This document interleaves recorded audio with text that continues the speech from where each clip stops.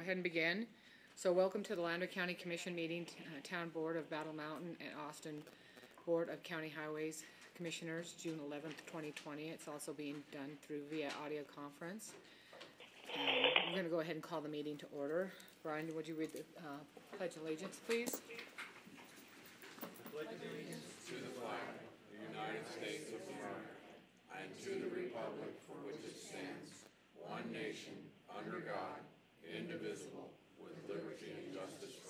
Thank you. We'll go ahead and have a moment of silence.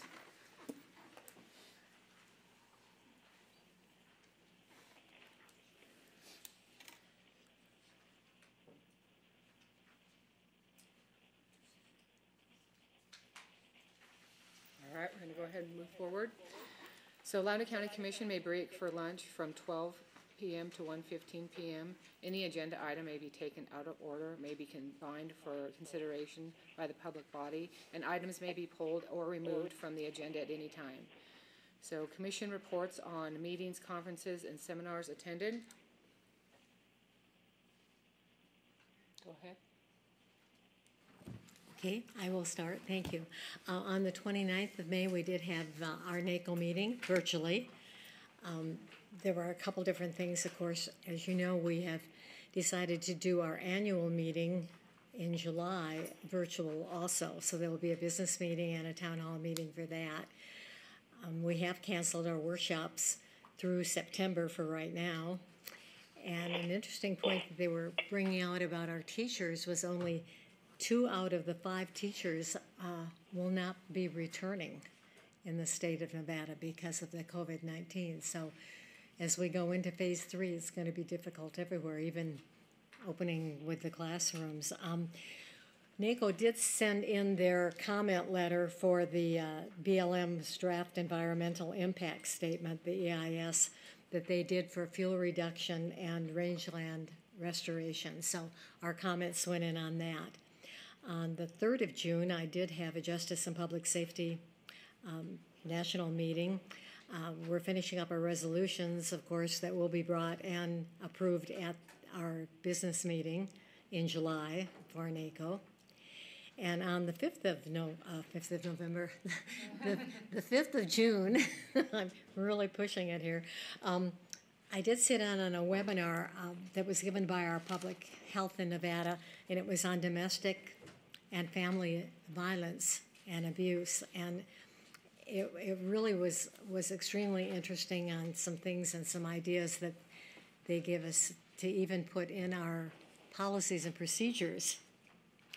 But uh, of course, it, it really has spiked, even though a lot of our people that um, that are reported, the children especially, um, are usually reported through the schools. Those are the biggest numbers, and of course, that's not happening. So we don't really have a good idea because they're in a, a home situation, sometimes with neglect and such, that we don't get to pick up on.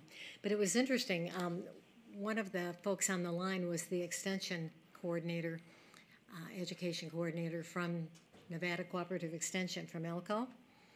And she was talking about their needs assessment. Uh, before we lost our educator, they were putting together a needs assessment, but it didn't go out. So we haven't done one yet. But number one from their county needs assessment was domestic and family violence um, and the, the need to educate and to get on top of that. So they have been addressing that in a very unusual way with some some special classes and such, which I'm hoping if we can get online, we can look at something like that. And I say online, I mean with an educator soon to see what's happening. Um, on the 8th of June, we did have an airport board meeting in Austin. We're looking at the signs.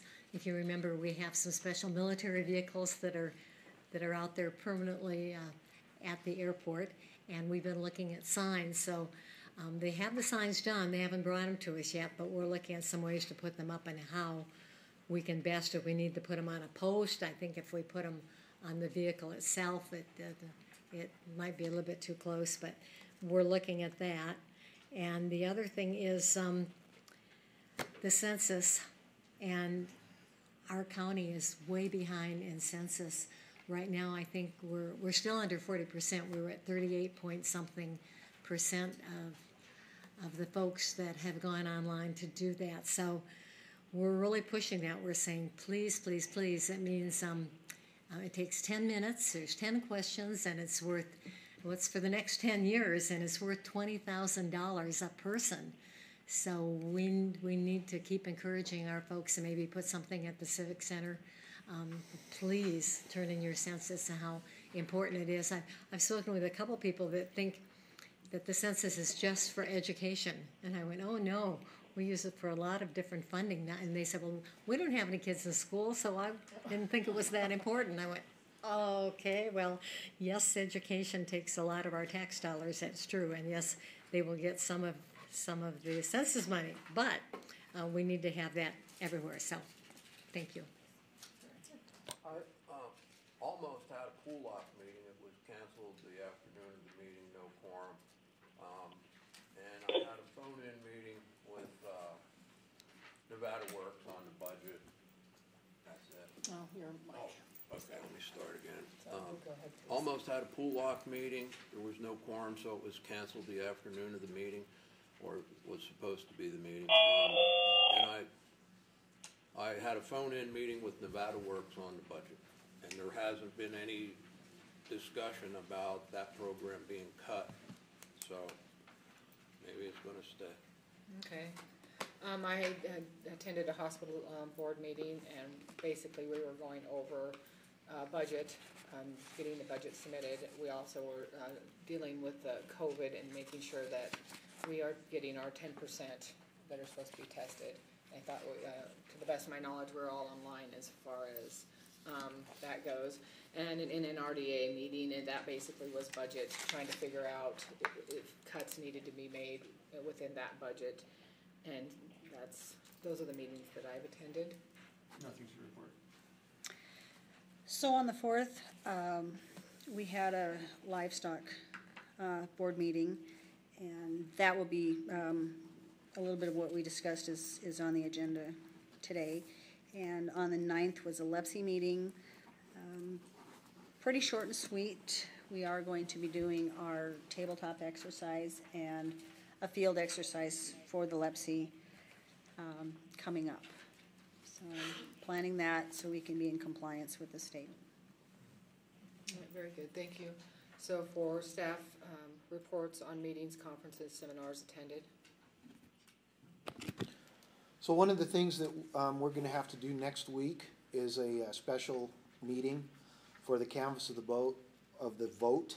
Um, The way it's working right now, uh, we have, I think, about seven, six or seven days left before the final tally is presented. Um, And then the commission has to ratify the canvass of the boat, vote for the, the county clerk. So um, Sadie's given, actually given me an agenda request for a special meeting. Um, but we haven't just put a, put a date on it yet. This would be a very simple meeting, um, probably take no more than about ten minutes total. Um, one item, you guys will, um ratify the, the canvass of the vote, and then it'll be uh, official results. I did make contact with Lee Bonner of NDOT regarding our workshop meeting. Um, they have actually rescheduled for October, once their, uh, board decides what the, what the, uh, projects will be for the next fiscal year. So he's, he wanted to know if the commission wanted to wait and have that meeting in October, or he's available for a phone conference if there's anything that the commission wants to ask for or, um, talk about as far as upcoming projects. Um, of course, one of the hot areas is there at the Maverick with the, uh, the diesel trucks, and we've had some, several in-depth discussions about that. There's a couple options we're working on right now. Nothing will go forward until, um, as, as far as, until, the- until the board approves it. I think that's it. The rest of the stuff I have is on the agenda.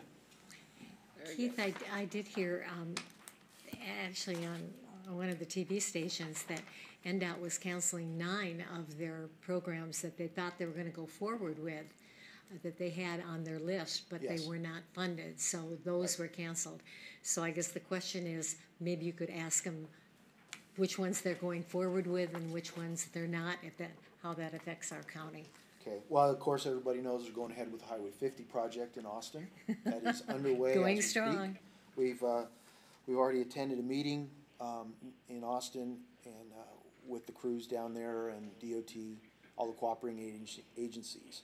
So that, that is moving forward as we speak. One thing I did wanna make sure, and I did forget this, did you all get the letter from the Elko County Library? Okay, she mailed it to each commissioner, I believe. Um, okay, well, we will go over that, that is on the agenda, I did do some research on that, that item on their contract, I have some, an explanation for it, and then we'll get into what, um, the recommendation that I would put forth, thank you. All right, moving forward for public comment, for non-agendized items only.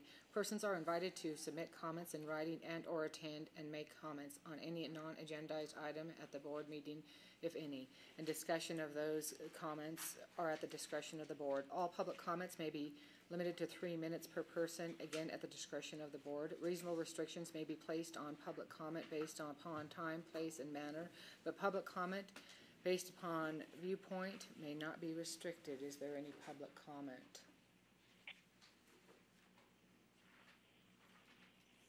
Uh, right. Without there being any public comment, Muted. Go ahead and move forward Unmuted. on the consent items. So, all matters listed under the consent items are cons- uh, considered routine and may be acted upon by the Board of County Commissioners with one action without extensive discussion. Any member of the board, um, or any citizen may request that an item be taken uh, from the consent agenda discussed and acted upon separately during the meeting. Consent uh, agenda materials are available at the Lander County Clerk's office for viewing, and copies are available at a nominal fee. So for number one, we have approval of June eleventh, twenty twenty agenda notice. Number two, approval of December fifth, twenty nineteen meeting minutes. Number three, approval December nineteenth, twenty nineteen meeting minutes. Number four, approval of January 9th, twenty twenty meeting minutes. Number five, approval of January twenty-third, twenty twenty meeting minutes. Number six, approval of February twenty-seventh, twenty twenty meeting minutes. Number seven, approval of April twenty-third, twenty twenty meeting minutes. Number eight, approval of May seventh, twenty twenty special budget workshop meeting minutes. Number nine, approval of May fourteenth, twenty twenty meeting minutes. Number ten, approval of May nineteenth, twenty twenty special budget workshop meeting minutes. Number eleven, approval of May twenty-first, twenty twenty meeting minutes. Twelve, approval of May twenty-eighth, twenty twenty special meeting minutes. And number thirteen, approval of payroll change requests. So.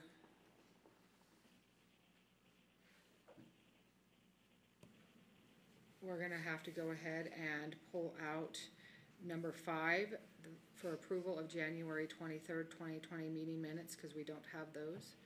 We're gonna have to pull out, um, uh, February twenty-seventh, twenty twenty meeting minutes, cause we do not have those. We're gonna pull out April twenty-third, twenty twenty meeting minutes, we do not We- have those. Actually, we have April twenty-third, Do don't we? we? Mhm. Okay, so we're gonna leave number seven in. So, May seventh, twenty twenty, special budget workshop meeting minutes.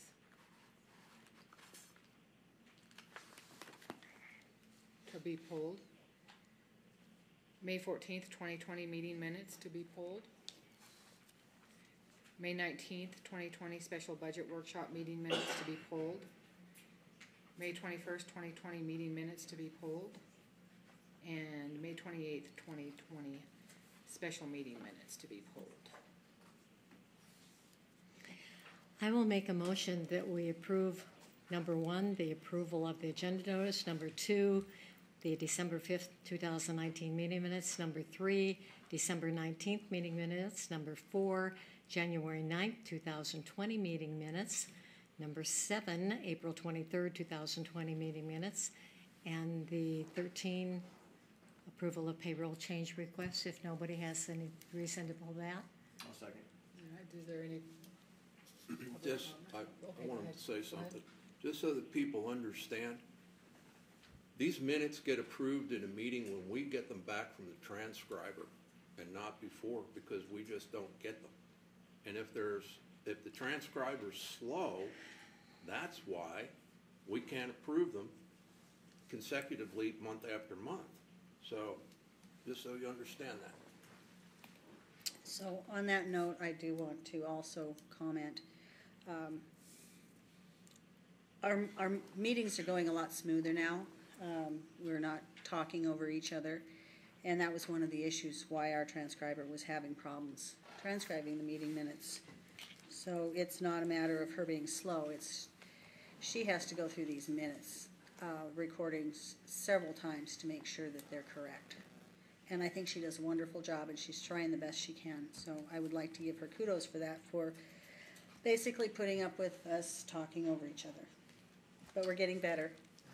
And so with that being said, also, um, in the public, we have to be really careful that you guys try to keep your, um, talking low, because sometimes when you're talking in the audience, it, that's what she's picking up, and it's hard for her to transcribe, so just keep, when you're talking to each other, try to keep that in mind.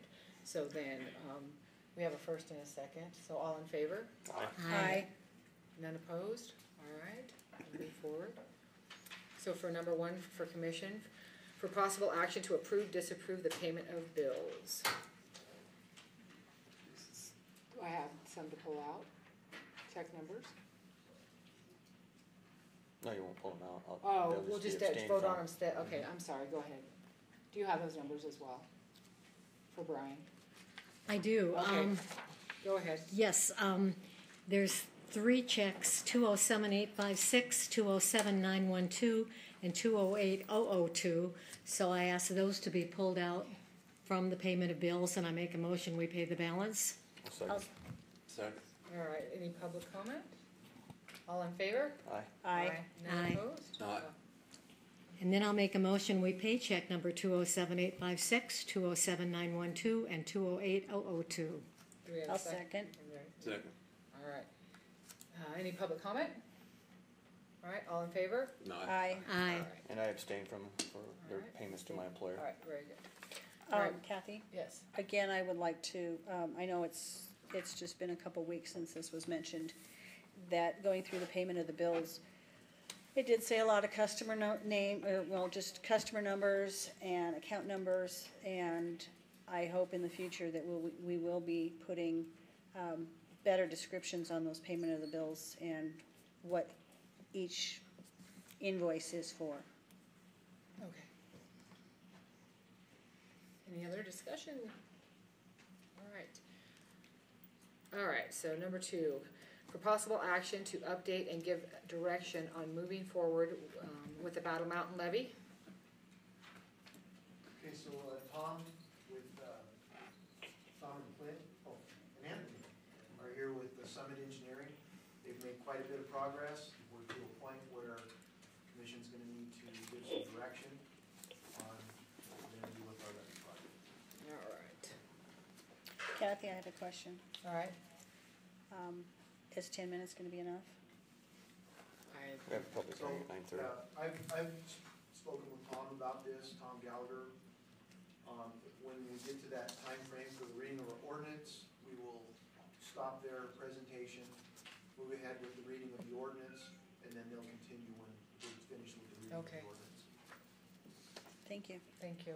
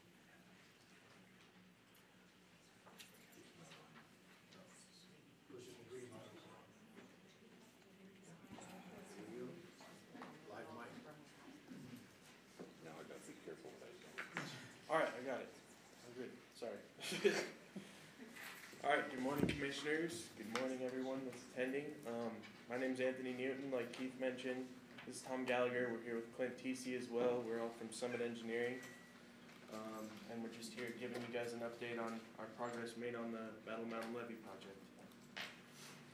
So, the first sheet here is very similar to what I showed you guys last time, but there's a little more info there. So does everyone, at least the commissioners, have this print off? Cause a little hard to see up there. So the big red squares are the bar areas, that hasn't changed much since last time. Um, the wetlands are the same, obviously.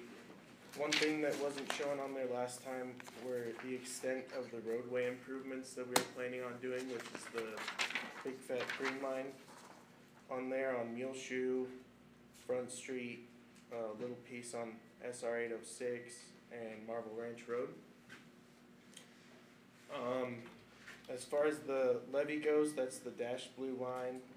Since the last time we were here, the, the biggest thing that's been done on that is the extension on the south end off of Marble Ranch. Um, that's something that, that we had come across, uh, through all of FEMA's literature that we had not been made aware of at the time.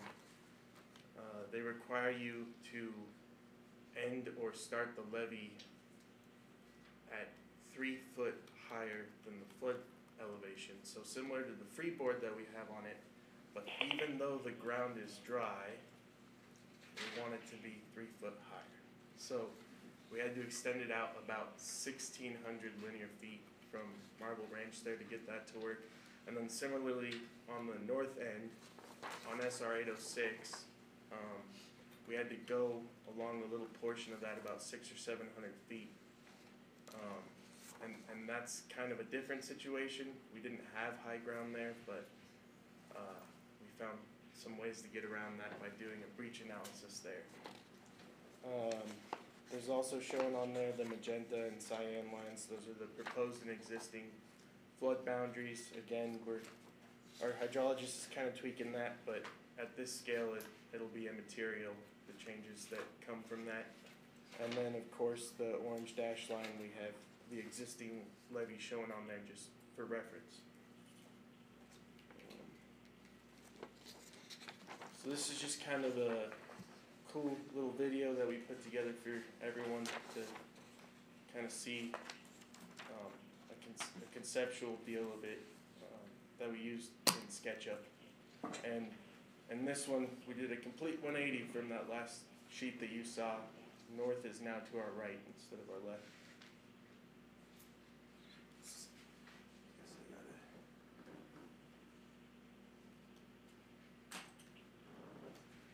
Oh. Video's not working.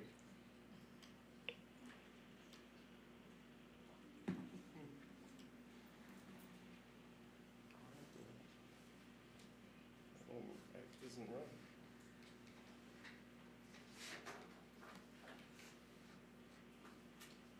Is it just going through slides, or what is it doing?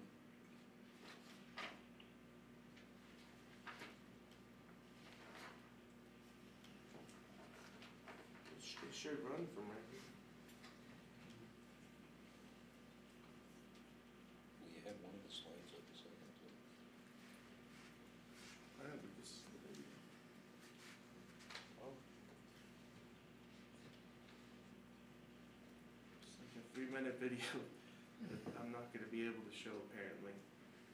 Um, but I guess we'll just skip, I had some stills, um, from the video. Uh, this is just to give everyone an idea of the immensity and the scale of the culverts that we're gonna be putting in Muleshoe and Front Street. Uh, Muleshoe is gonna have, what we're planning on doing is approximately twenty-three four by twelve concrete box culverts through there. Um, you can kind of see at the top of the picture, there's another group of culverts in Muleshoe there, and Front Street is gonna be very similar. I have a question on that. So, Yeah. you're putting that in to increase the flow, but I looked at the flood, uh, when we had the last great flood here. Mhm. Um, what is that, what good is that going to do when everything's already backed up? It's gonna have no place to flow because it's all backed up. So, so we're matching. So front's the next thing downstream from I eighty, right? We're matching the cross-sectional area of all the flow conveyance, so all the structures in eighty at front. And then the next blockage is the railroad, which Right. has historically been a big issue, but that, we're just filling up and going over because we can't, we don't wanna mess with the railroad that much. I understand what you're saying, but my que- my question is, you've seen the map. At the height of that flood, if you look out towards Moat, that whole river, that was, it's like the water had nowhere to go. It's completely, where did it, where does it go? I mean, we put all this flow in, but where does it go when you have that much water? Like that, what happened back then? Well, the railroad is what really slowed it down last time. Yeah, And the, the structures that are designed now, based on all the standards that FEMA makes us use and everything else, are adequate to pass that flow. And as Anthony said, the railroad, we're not gonna be raising the railroad. Uh, We'll be putting a gate on Right. the railroad. yeah, in regards to that, I, I know when they, the, they blew the railroad, it all flowed out, but that, that, from my understanding, was because all the water that had backed up had already subsided too. So when it did blow, it had a place to go. What I'm saying is that when that's all there, all that water is built up there, the flow increase is gonna do nothing, cause it has no place to go. You're, you're not, are you talking about downstream into the Humboldt? Yes, exactly. Yeah, if you look at that map, that whole area was just nothing but wetlands. It's like, it's like, you increase the flow, but it's, it has nowhere to go. Well, this, That's my question, so. Well, it's gonna, it's gonna hit the Humboldt, there's no question about it. And the biggest problem with this whole area is you're aware that Reese River, when it has a flood, it's about six inches deep and about four miles Right. wide. Yeah, it's, uh, the reason the steamboat and barge company never worked. Um, So this is the only way that we've been able to ter- to determine to contain it, keep it out of Battle Mountain and satisfy the Corps. And, well, satisfying the Corps is a little more difficult than, than what, uh, Huh.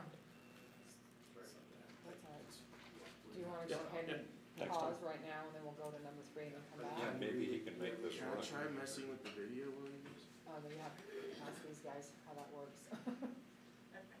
You're fine doing that? So, okay, because we're gonna go ahead and move on to number three. Hmm? All right, we're gonna go ahead and, uh, move, uh, move on to number three. Uh, for possible action to approve, disapprove the adoption of the ordinance twenty twenty one finalization of the dissol- dissolution of the Lander County Combined Sewer and Water District Two General Improvement District and its Board of Trustees and authorize the chair to sign.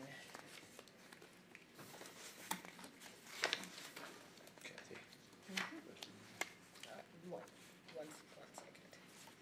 So, let me make sure I'm on the right spot here, guys.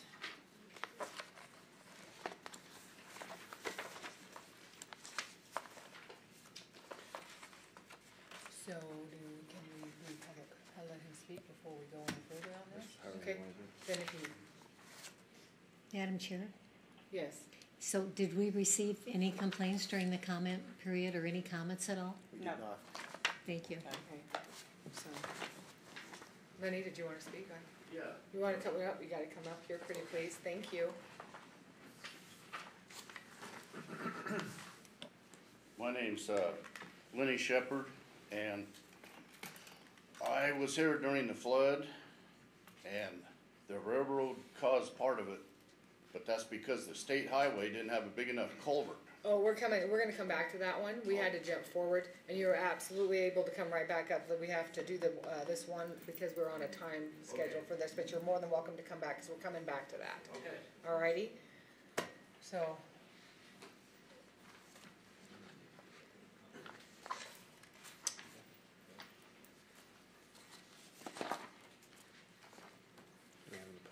So do we have any public comment on this item? Hi, are you there? I am. They don't have to read the whole ordinance, right? Just the title? That's correct.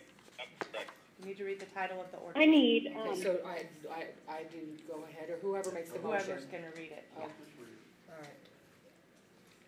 So for notice of ordinance proposal, ordinance, um, number LC 2020-01. summary, an ordinance finalizing the dissolution of the. you hear better on your phone. Um, that's the number right there and then that's the code. Muted. So are we- Unmuted. Are we ready? Okay, sorry. All right, so I'm gonna start that over again. So an ordinance finalizing the dissolution of the Lander County Combined Sewer and Water District Number Two General Improvement District and its Board of Trustees title. An ordinance providing for the full consideration of the, uh, for protests of the final dissolution of the Lander County Combined Sewer and Water District Two General Improvement District and its Board of Trustees providing for the final dissolution of the Lander County Combined Sewer and Water District Number Two, General Improvement District and its Board of Trustees, and providing for other matters properly related thereto. The pu- public hearing of the adoption of the ordinance, do I need to read all that into? Okay, all right, so, go ahead. Can we double check, is Austin on the line? Uh, Please. Austin, are you on the line? Did we call Austin? Austin's been calling in, so we might need to call them. if They have been. We're calling. here. Oh, Are you there, are, are, so were you able to hear all of that? Yes. All right, very good, thank you. all right, Thanks, So- thank you. Mhm. So are we needing them, Yeah, I'll make a motion that, uh, we approve. all right, do we have a second? A second. Do we have any public comment? Robert, were you on mute? Tell me when you're ready. So are we ready, do we have any public comment? All right, without any heard, being heard, all in favor? Aye.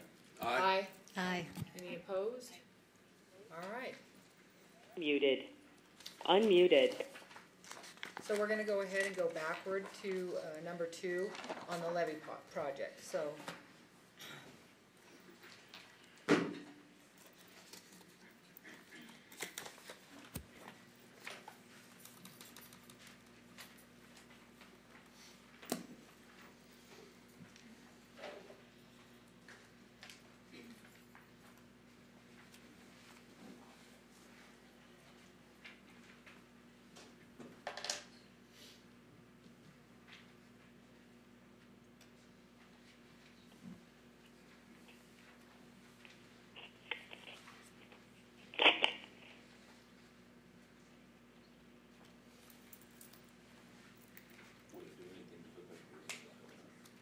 That's what I was trying to get.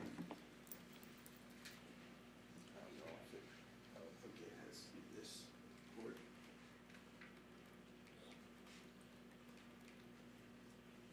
Alright, so, I don't think I'm gonna be able to get the video to work unfortunately, but, um. So where were we at, Brian? Did you still wanna? Well, yeah, I was just, he was Yeah. answering my questions. So, for the record, I'm Clint TC with Summit Engineering. Um, one of the major reasons we have all the culverts is to get both Mule Shoe and, uh, Front Street raised enough so that during a flood event, that you still got traffic movement, emergency traffic especially.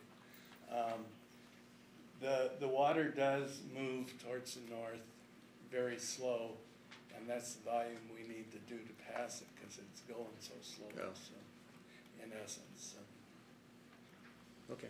So it's basically just kind of a balance on one side to the other until we get to the railroad tracks and then it goes as a weir. Right. Alright, so, yeah, just like I was saying, this is gonna be a very similar, um, scenario on Front Street. And then the next still I had from the video was just to give everyone a better idea of the closure structure at the railroad tracks. Um, basically, we got that concrete flood wall, uh, coming across there and, and I'd mentioned to everyone in the past, uh, those, those two little I-beams that are poured into the wall there on each side. Uh, it's not gonna look exactly like that, there's gonna be a, a plate in the middle of the tracks that a post gets bolted down to on that, and then you just slide like aluminum stop blocks, and they're stacked up. They're lightweight, easy to handle. People can put them in there as long as we have some training and stuff, um, annually or semi-annually or whatever. It should be a really good system at, at this crossing. We're also planning on a small structure down there on the dry side that we can store these in, so they're readily available. So, Yeah, that extra post and those stop blocks, and there's also a rubber, they make a custom rubber mold to go over the tracks, that little portion that's exposed between, um, the joints in the, in the wall there.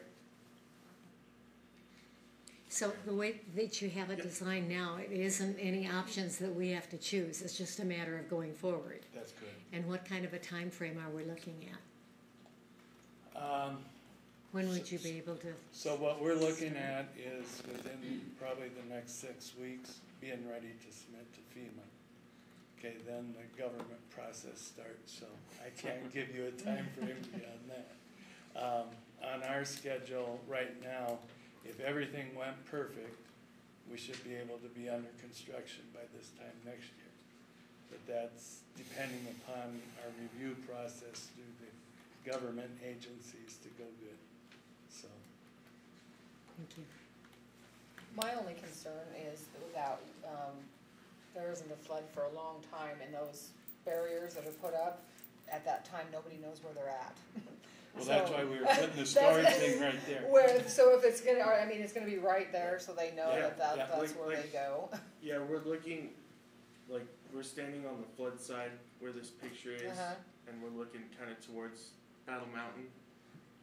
Literally like right on the other side of that wall on the left-hand side. Is where we were planning on, With big letters, it having- says, Yeah. this is what's in here. yeah, grab these and put them in there. All right, very good, thank But you. it, it won't be right next to the tracks because we wanna get off railroad. Yes, right uh, yes. So we aren't dealing. I understand that. Yeah. And then the next still, and again, I apologize about the video, this would have made a lot more sense if that would have ran, but, uh, this was just the, this is our second concrete flood wall, uh, just on the north side of I eighty where we crossed through there. Uh, the little piece that you can see in the tan there, uh, that's, that, that's an existing, uh, box culvert under eighty, and we're gonna be doweling into the head wall of that there. And it takes off and goes for about five or six hundred feet. It's a pretty long one. Anthony? Yeah. You said that is on, um, sorry, um, what side of, of eighty is that? It's Region. just- just on the north side, North, so it okay. comes out of the westbound lane embankment. So, Okay, so this concrete wall is to, we have to tie into the existing levee at eighty because of that box culvert. So that's one of our governmental approvals we're gonna need from Army Corps since we're touching their levee. But then the wall is to just get us away from their levee, their jurisdiction, back to where we can do a earthen dike again, so. Yeah, it's just a footprint issue, and we also wanted to utilize that culvert, not cut it off. Cause that was the other option, go on the other side of it, stay away from it, but then we're taking away that conveyance, so that doesn't really make sense. Going under eighty is, would be a real problem. Oh, I was just, I, I know which culvert you're talking about. It's, I think everybody around here calls it the bowling alley. Yeah, that's the one that you can drive through pretty much, right? Yeah. Yeah. Okay. Um, and then the next slide here just shows, uh, some of the major things we've completed here. Since the last time we, we met with you guys, uh, Lander County has signed a preliminary engineering contract with the railroad. Um, we need to work on getting all of our submittals to them to get that license from them. But we have that agreement in place, which they're, that was really hard to do, cause they do not respond. And, um, SWCA, our environmental consultant, they have gotten an approved pre-jurisdictional determination from the Army Corps. Basically what that means is that our environmental has submitted to the Army Corps, um, their delineation of wetlands and waters of the US. And the Army Corps is in concurrence with that, so they agree with what the environmental has come up with. And now, through all of the permitting processes that I'm about to bring up, we need to avoid those as much as possible to avoid headache. Oh, sorry. And then, um, we've got, uh, ninety percent construction plans. I've got those here with me today, if anyone wants to see those. Uh, everything's meeting FEMA now, as far as we know, hopefully, because things keep popping up, but, um, we've got it really clear in our heads now, so I think we're good on that now. Um, we've got plans ready for the encroachments on NDOT and the railroad, so we just need to clean those up a little bit and get them submitted. And we've coordinated with, um, a lot of land owners that we're, we're encroaching on, and not that there's that many, but, um, and all the stakeholders again, so. Um, some stuff that we're working on, again, like I mentioned, is just getting that stuff submitted to end on the railroad. Um, acquiring easements from all the private landowners and um, whatnot for the levee and, and borrow areas. Mainly, that's what it's gonna be, maybe some, uh, temporary easement for haul routes. Uh, our hydrologist, do hydrology, is working on getting everything together for that big CLOMR application that Lander County is gonna have to go in with him jointly to submit, just so you guys are aware of that. Um, and then the, the, the next, so once he gets that CLOMR submitted, like Clint mentioned, that's the part that's going to FEMA. The next step is gonna be, uh, working with the Corps, and that's gonna be the four oh eight permit, and that's where everything is kind of a guesstimate at that point, because, um, who knows, but we'll get to the schedule here at the end. Um, and then, but between the time the slide was written and, and now, our, our cultural consultant has actually updated that report from those extensions I talked about to the north and south of the levee off of Marble Ranch and along SR eight oh six. She had to revisit that, come back out, make a site visit, and update that report. So she's ready to go again, but, um, we'll get to the timelines here. So, um, again, we're working on NDOT and UPRR, that's, that's my next biggest task that I'm working on, getting, getting really going with those guys, even though we coordinated with them somewhat. Finalize easement documents, uh, finalize the emergency action plan, which we need to do per Nevada Department of Water Resources and FEMA. Uh, operation and maintenance manual, FEMA requirement, flood management plan, and technical specifications. Uh, And then our geotech department is currently working on finalizing that report and getting it wrapped up. The next, um, important thing is our structural, getting those, those flood walls all straightened out for us and designed, including our plan set for our submittal to FEMA and the Army Corps. And the railroad. And the railroad, yeah, and then dot. And then, uh, our hydrologist, like I said, is working on getting everything ready for that big CLOMR application. So, the reason I put those three first is because the work the summit has done, the, the work the summit has left to do, the work that Hartman has left to do, the structural, and the work that the hydrologist has to do, is all necessary to go in for the CLOMR and the four oh eight, which is the first of the four oh eight permitting process, and then the four oh four. So this is the same, uh, slide that I showed you for the environmental last time. Um, we're still on that same route, it's the path of least resistance with getting this four oh eight submitted. Uh, that process can take up to six to eight months is what they estimate. And then, once the four oh eight gets approved, um, we really, have some overlap on the four oh eight and the four oh four, but there's really no sense in submitting for the four oh four, which the four oh four is the wetlands permit, sorry for not clarifying that. The four oh eight is the permission to alter a federal public works project.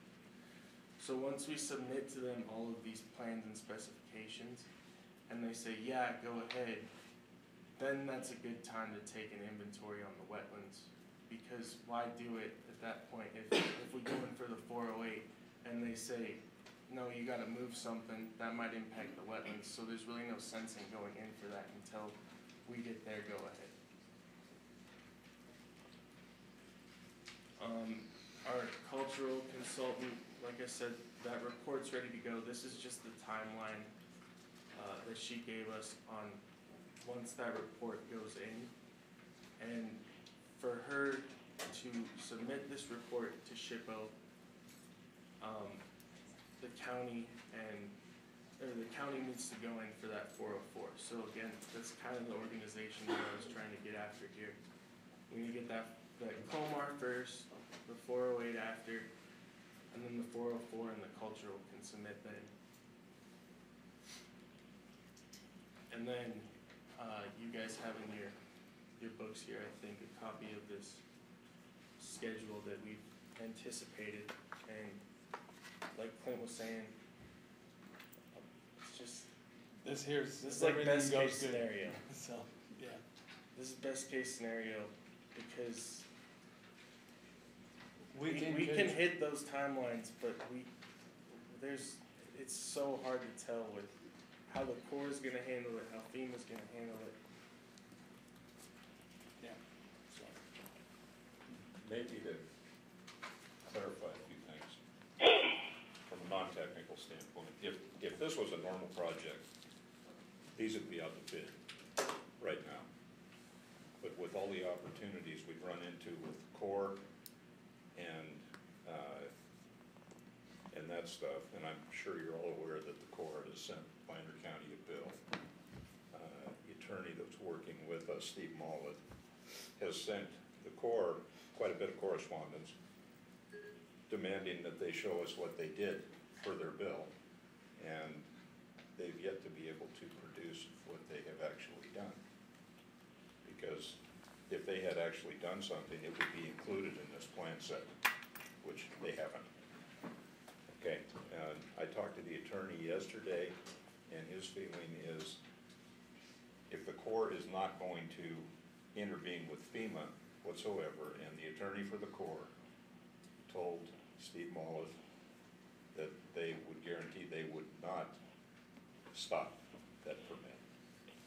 And if that's the case, his recommendation after requesting mediation, arbitration, whatever they're gonna do to try to get that money, which they won't respond to, is just let it sit. And if they ever come up with a reason that you might owe them that money, which I can't imagine what it is, except for delay a game, and that's probably, I, I don't know how much that's worth to Lander County, I know it's not worth anything to me. But that's, that's where it is right now. And he's staying right in the middle of the court, but he finally said, we gotta just back off. If They're not gonna intervene, the approval we need is from FEMA. And the Corps, as long as they work on the four oh four and the four oh eight, and don't intervene with FEMA, FEMA, I don't think really cares what the Corps says. So, that's kind of where we are in that, in that light. Now, once this project's completed, is that, and I know this question's been asked before, but I, it's been a long time ago and I can't remember. Once this project is completed, as far as the people like on this side of the railroad tracks and the flood insurance that are so far out, is that going to affect it to where that's gonna alleviate all that these people having to pay flood insurance? They will still be in what's called a shaded X, which means that, um, if there was ever a levee failure or something, that it could get flooded, but the probability is way down, so the flood insurance rates should go way down. Okay, very good, thank you. The way you delineate the shaded X is you do an analysis without the levee, so like the current condition, and then you do it with the levee, and everything that you took out becomes Very good, Kathy? Thank you. Uh, and, and Tom, correct me if I'm wrong on this, because when it did come up before, when you were speaking on it, uh, I think what you said is, yeah, it should, it could, but there is no guarantee that it will. Until FEMA appro- Right, if- approves. If, if they approve the shaded X, then all the insurance people are all gonna base the premiums based on that. Okay.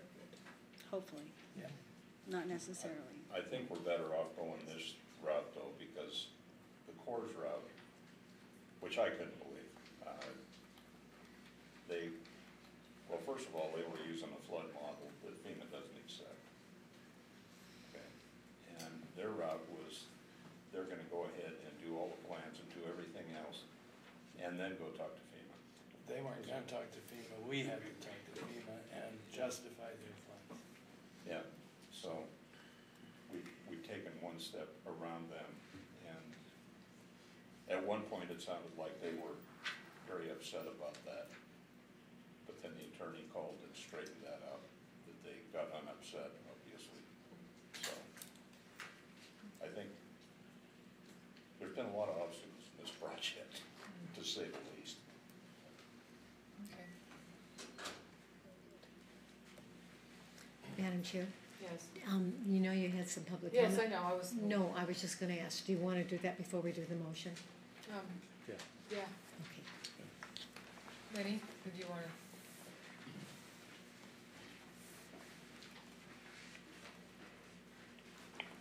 My name's Lenny Shepherd, and I was here during the flood, and they built the, I don't know when they built this existing flood dike they have now, but it hasn't flooded since. And if this makes everybody's flood insurance go away, then go for it. But if we still gotta pay flood insurance, you're wasting your time. The, the, all the culverts are in except on Mule Shoe. It, it wouldn't handle it. There's more culverts in there now than, but if you go out here where they're putting the new water line and drive down the ditch of Reese River, you can go down there and see where all the dirt is. It floods, it pushes dirt up and the water goes down, all the silt falls out. No water will reach those culverts if you don't clean those ditches. That's just the way it is. I mean, I'm not an expert on it, but I, I do have an eyeball when it, when it, the ground's lower, higher there, it's not gonna go over the hill. You gotta make a ditch to make all, some of those culverts have, in the state highway have never run any water. Because all those ditches are, they're all silted in. It's no different than a borrow ditch on the road, you, you gotta clean it if you want drainage. And, I don't know, they're not, nobody's gonna save any money on flood insurance, it's a waste of money. That's, Money. that's my opinion. On, on the flood insurance, I, that was my concern too, and, and what I've heard is, it's the banks Art, that decide. Art, excuse me. Oh, it's the banks that decide, um, whether or not they're gonna make you have flood insurance or not, if you're in a flood zone, even if it's corrected. I, I mean, Well, everything's in a flood zone, but that, how far do you wanna build a dike from here to Austin along Reese River so it doesn't, you're gonna back it up somewhere, it has to go downhill. You can't keep backing the water up. And the county would take their scraper out there and start right in the bottom of the ditch from the Reese River culvert out there, the Reese River Bridge, and clean three ditches to those three deals, I think you'd solve your problem for two or three years until it fills it in again.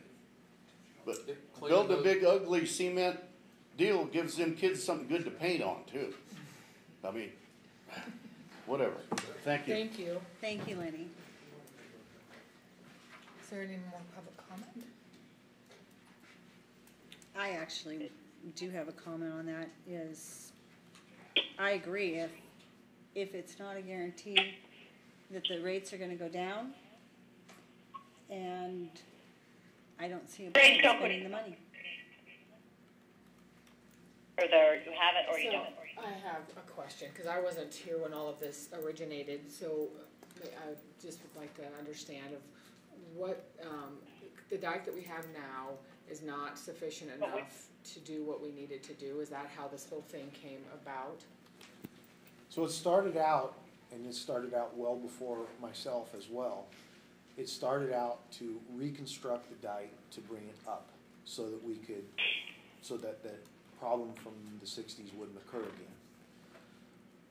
We ran into a whole lot of issues with the Corps that I think a lot of people are well aware of. Um, one of them being a million dollar bill that they did nothing to earn, or there was no backup to support that. So in several discussions with Tom and, and, uh, a direction to go, we thought it would be better to actually, um, move the levee and put it onto county property. That way the county is solely responsible for it. There was years and years of no maintenance that was done to that levee.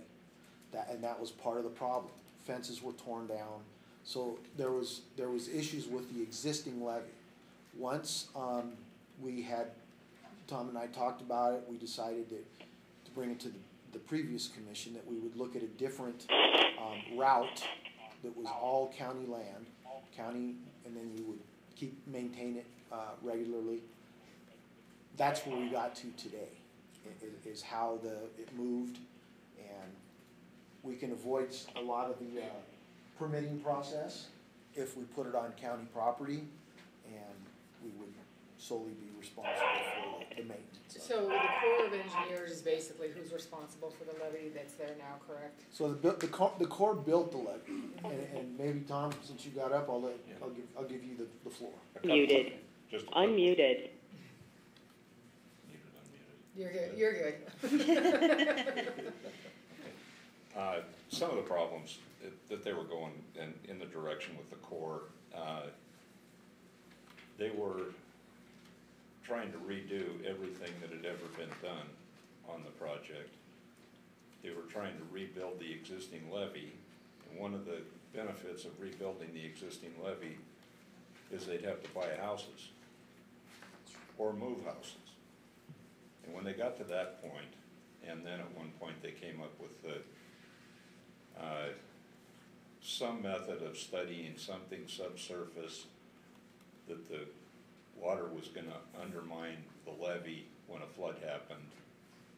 And, I mean, like there's a conduit going under the levee, I guess. Anybody that's been around here, when, when it rains hard here, you drive from here to the power plant, and there's puddles standing everywhere about a week after it rained. So it's not really highly pervious material. We've done the geotechnical investigations and everything else. At one point, they came up with the idea that we ought to put a cutoff wall underneath the levee, and that cutoff wall could be up to thirty or forty feet deep. Now, that makes absolutely no sense. I mean, that, that'd be a project for Newmont, not from, not for a contractor. So at that point, we decided that maybe we were going in the wrong direction by, and we had, I'm not kidding you, we had numerous meetings with the Corps. At one point, they brought a whole busload of people to meet with us in our office in Reno. And it was about three years into doing nothing. At these meetings, they'd say, well, we're gonna do this, and we're gonna get funding sometime, on and on and on. Nothing ever happened. In one meeting, I accused them of working overtime doing nothing. And they didn't like that very well. But I think you'll notice in the correspondence that everything we have sent to the Corps regarding their billings and what they've actually done, on and on and on, everything is copied to Amodei's office. And I've talked to him more times than I've talked to my wife. So I think, I think this is the way to go. I think it's the only way to go. And I think it's the only way to get flood insurance. I mean, cleaning, cleaning the Reese River ditch out, you're still not gonna have Battle Mountain out of floodplain.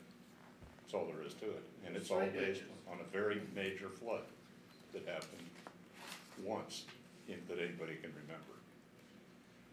Well, and my only issue with the levee that's now, if we have no control over what they're doing on it, and we get billed at their discretion, and we have no say, that I, that's a, a big deal to me, where if it's our levee and we have control over it, and we set the prices of what's going to be fixed at what time, like I said, we have a million dollar bill, they're trying to charge us and no justification, and they can do that at any point.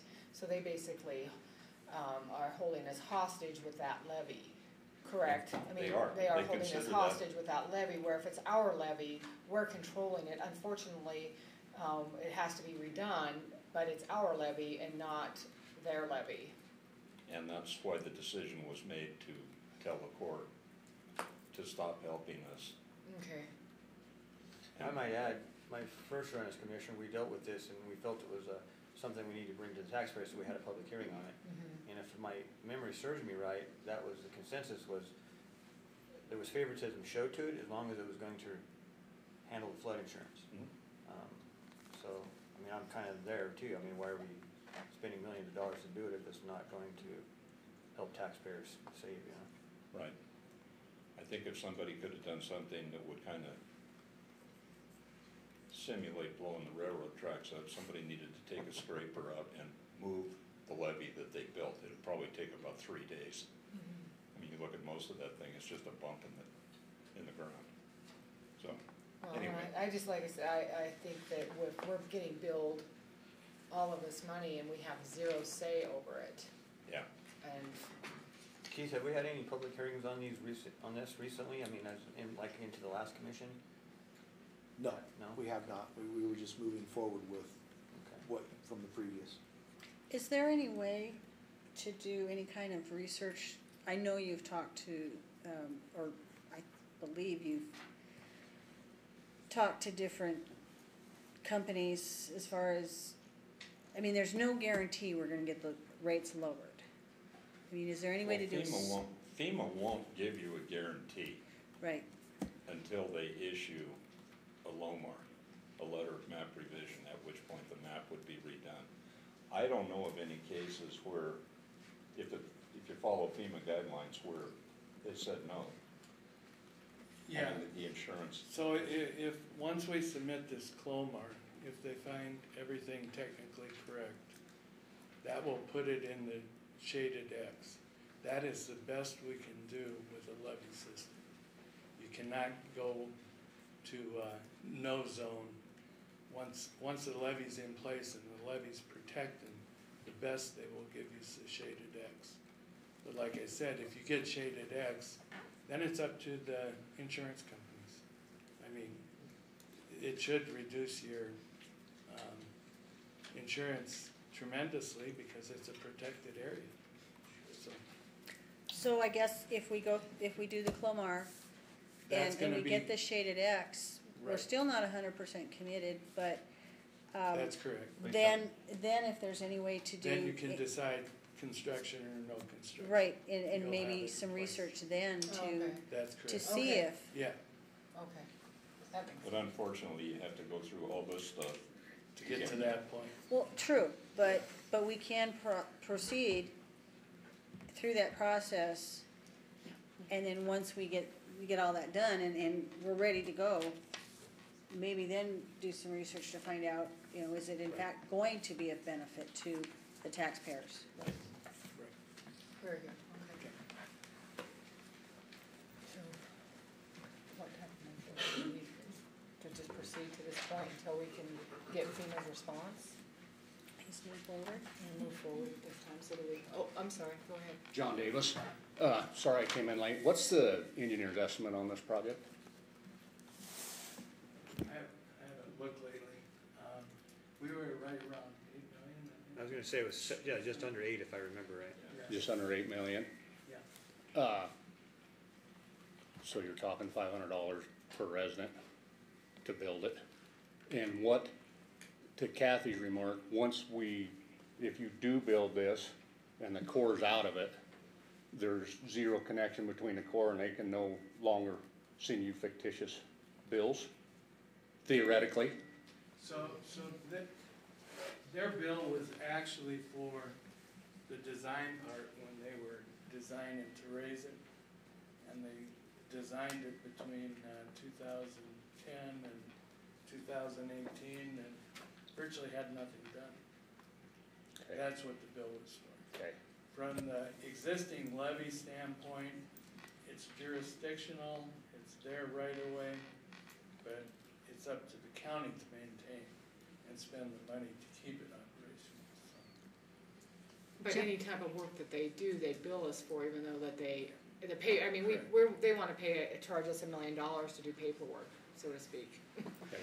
John, we actually fired the Corps a few years ago, and that's why they sent us the bill saying, this is what we think that we have done for you. So we've been negotiating with them ever since. Okay. Uh, And we've come down tremendously on the bill. Yeah. the, my only comment is, is that when, my house is probably forty foot above town, sixty foot. My lender's still forcing me to carry flood Oh, insurance. yeah. See, that's the That, concern I have. it's the lender, it's not the insurance carrier. You might reduce your cost of your insurance if you get the certificate, but there's no guarantee, there's no guarantee that they're gonna eliminate it. So Uh, here's my question, if your insurance is part of your mortgage, do you have to renegotiate your mortgage if you no longer need flood insurance? Well, that's I through mean, your escrow, it so is- that's, Yeah, It yeah, gets it's through pretty escrow. complex. Well, you go through your Uh, escrow. Yeah, but, I mean, I, I don't disagree with Mr. Shepherd's comments. Uh, it's a maintenance issue. You're gonna have a maintenance issue of a levee if you build it. Uh, it's been, it's flooded once. I think the urban folk folklore, we all know what happened, and it shouldn't happen again. I think three years ago, we experienced one of the worst floods that we've had in, probably since that time. And I don't think anybody had any problems, to my knowledge. So, I mean, eight million dollars, uh,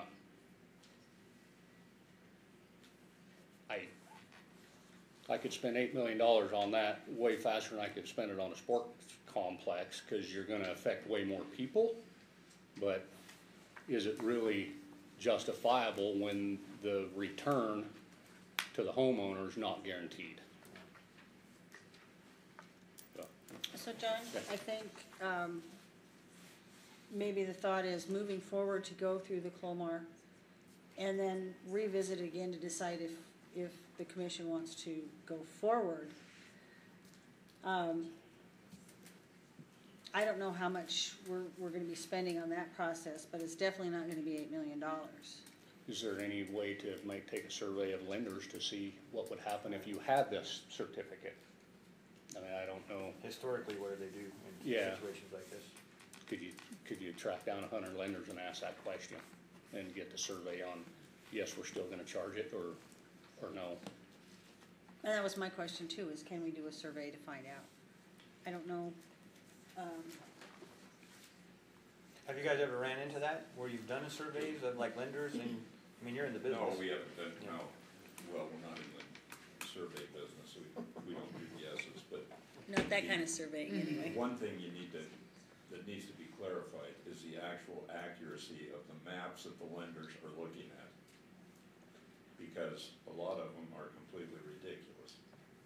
I had one in Reno, this lady's house, they said, along the Truckee River, they had her in the floods, in the flood zone, maybe even in the floodway.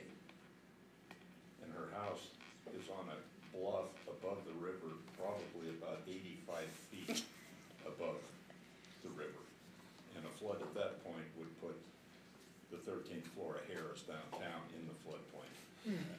So those maps are So when, basically cartoons, that's why you say you're fifty feet higher. yeah, Uh, You, in that case, if you, and what we had to do on that one, we had to go in and request a letter of map revision from FEMA to say that that cliff up above the Truckee River was not in the floodway. So it's, it's just based on what they think maybe. But it's not based on any actual topographic mapping that, I don't know what they use. So if we proceed with the CLOMR stage, does that give us like updated mapping? It does, right? This little, Yeah, And we- And then at that point, we just decide What we to construct or not to construct. okay, Right. But at least it gives us updated. Information, yes. Okay. thank you. Uh-huh. Thanks. So I'd like, Bert Ramus for the record, I'd like to point something out to everybody, because I hear maintenance quite a bit here. And, uh, three years ago, when it did flood, as bad as it flooded, I flew over it a number of times and seen it out here in the flat, and, and the water does always go to lowest point, obviously. But here is a picture from the flood in, I think it's dated, um, what is it, seventies, not, have a date on here somewhere. should be, what, sixty-two? Eighty, eighty-three, Okay, eighty-four so- was, Sixty-two. Sixty-two is that one I have noted, but here's, here's the picture, but what I wanna point out to everybody is it's not, the Humboldt River is what gets us, not the Reese River. The Reese River, see all this flooding here and the levees, you know, trying to do its thing, but it's not doing its thing, obviously. Um, this right here is backed up because of the Humboldt River out here. There's no flow right here. So if you get the water from here to here faster, you actually increase your problem. I have no problem cleaning ditches, but I don't want anybody to think that we're trying to neglect maintenance, um, to, to our river. We, we have no problem going and cleaning ditches, but when I look at this picture, what I see is if we bring the water from the Reese River faster to Battle Mountain by cleaning ditches, and I may be wrong, Lenny, I, like I said, I wasn't around for that.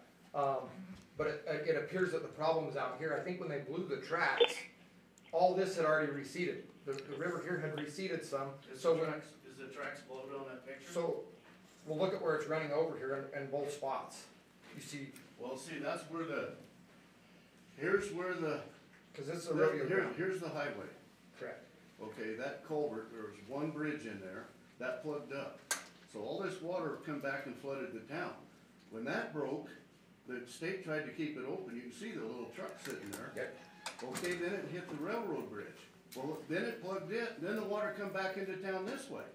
Yes, yes, but see, is what I'm saying is that even if, if, if these were both gone, the, the water that is right here is holding this water.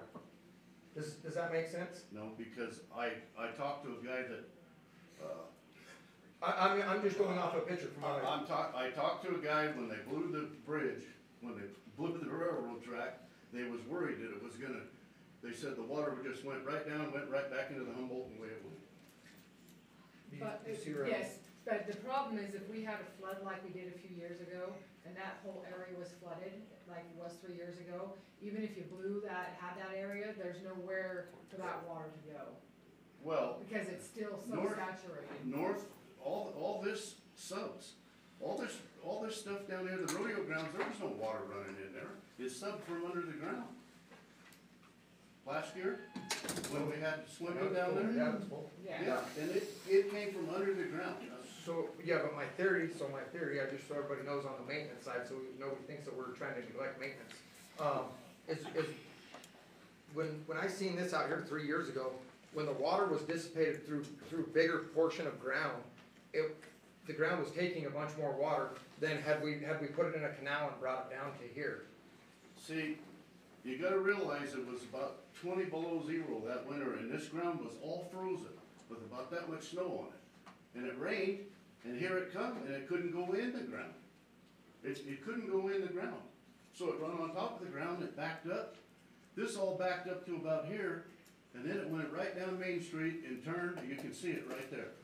And it all, it all came back over to, they just started coming through town. There's guys in boats. But it No also, question, it's not but it also was out Allen Road, remember? Yes, it It was was. flooded out there. Yeah, the Indian colony flooded, I think. That's right, everything. So guys, since you've been there, my question is, when it, like last year, because I, or the year before last, because I was a little freaked out about how much water came, was coming close to town, because Rogene's house, I mean, the water was coming up all around there, and it had, like you said, I don't know if that was subbing, or if that was the water backing up, I don't know, because I wouldn't. I don't- So if that was in that, if we had that aspect now, and we, where would all this water go? It'll go down to the Humboldt. And how can it if it's already up, in temp, uh, up here? If How it's- can it go there? Is It- my it- question. It will go, it will go down the Humboldt River.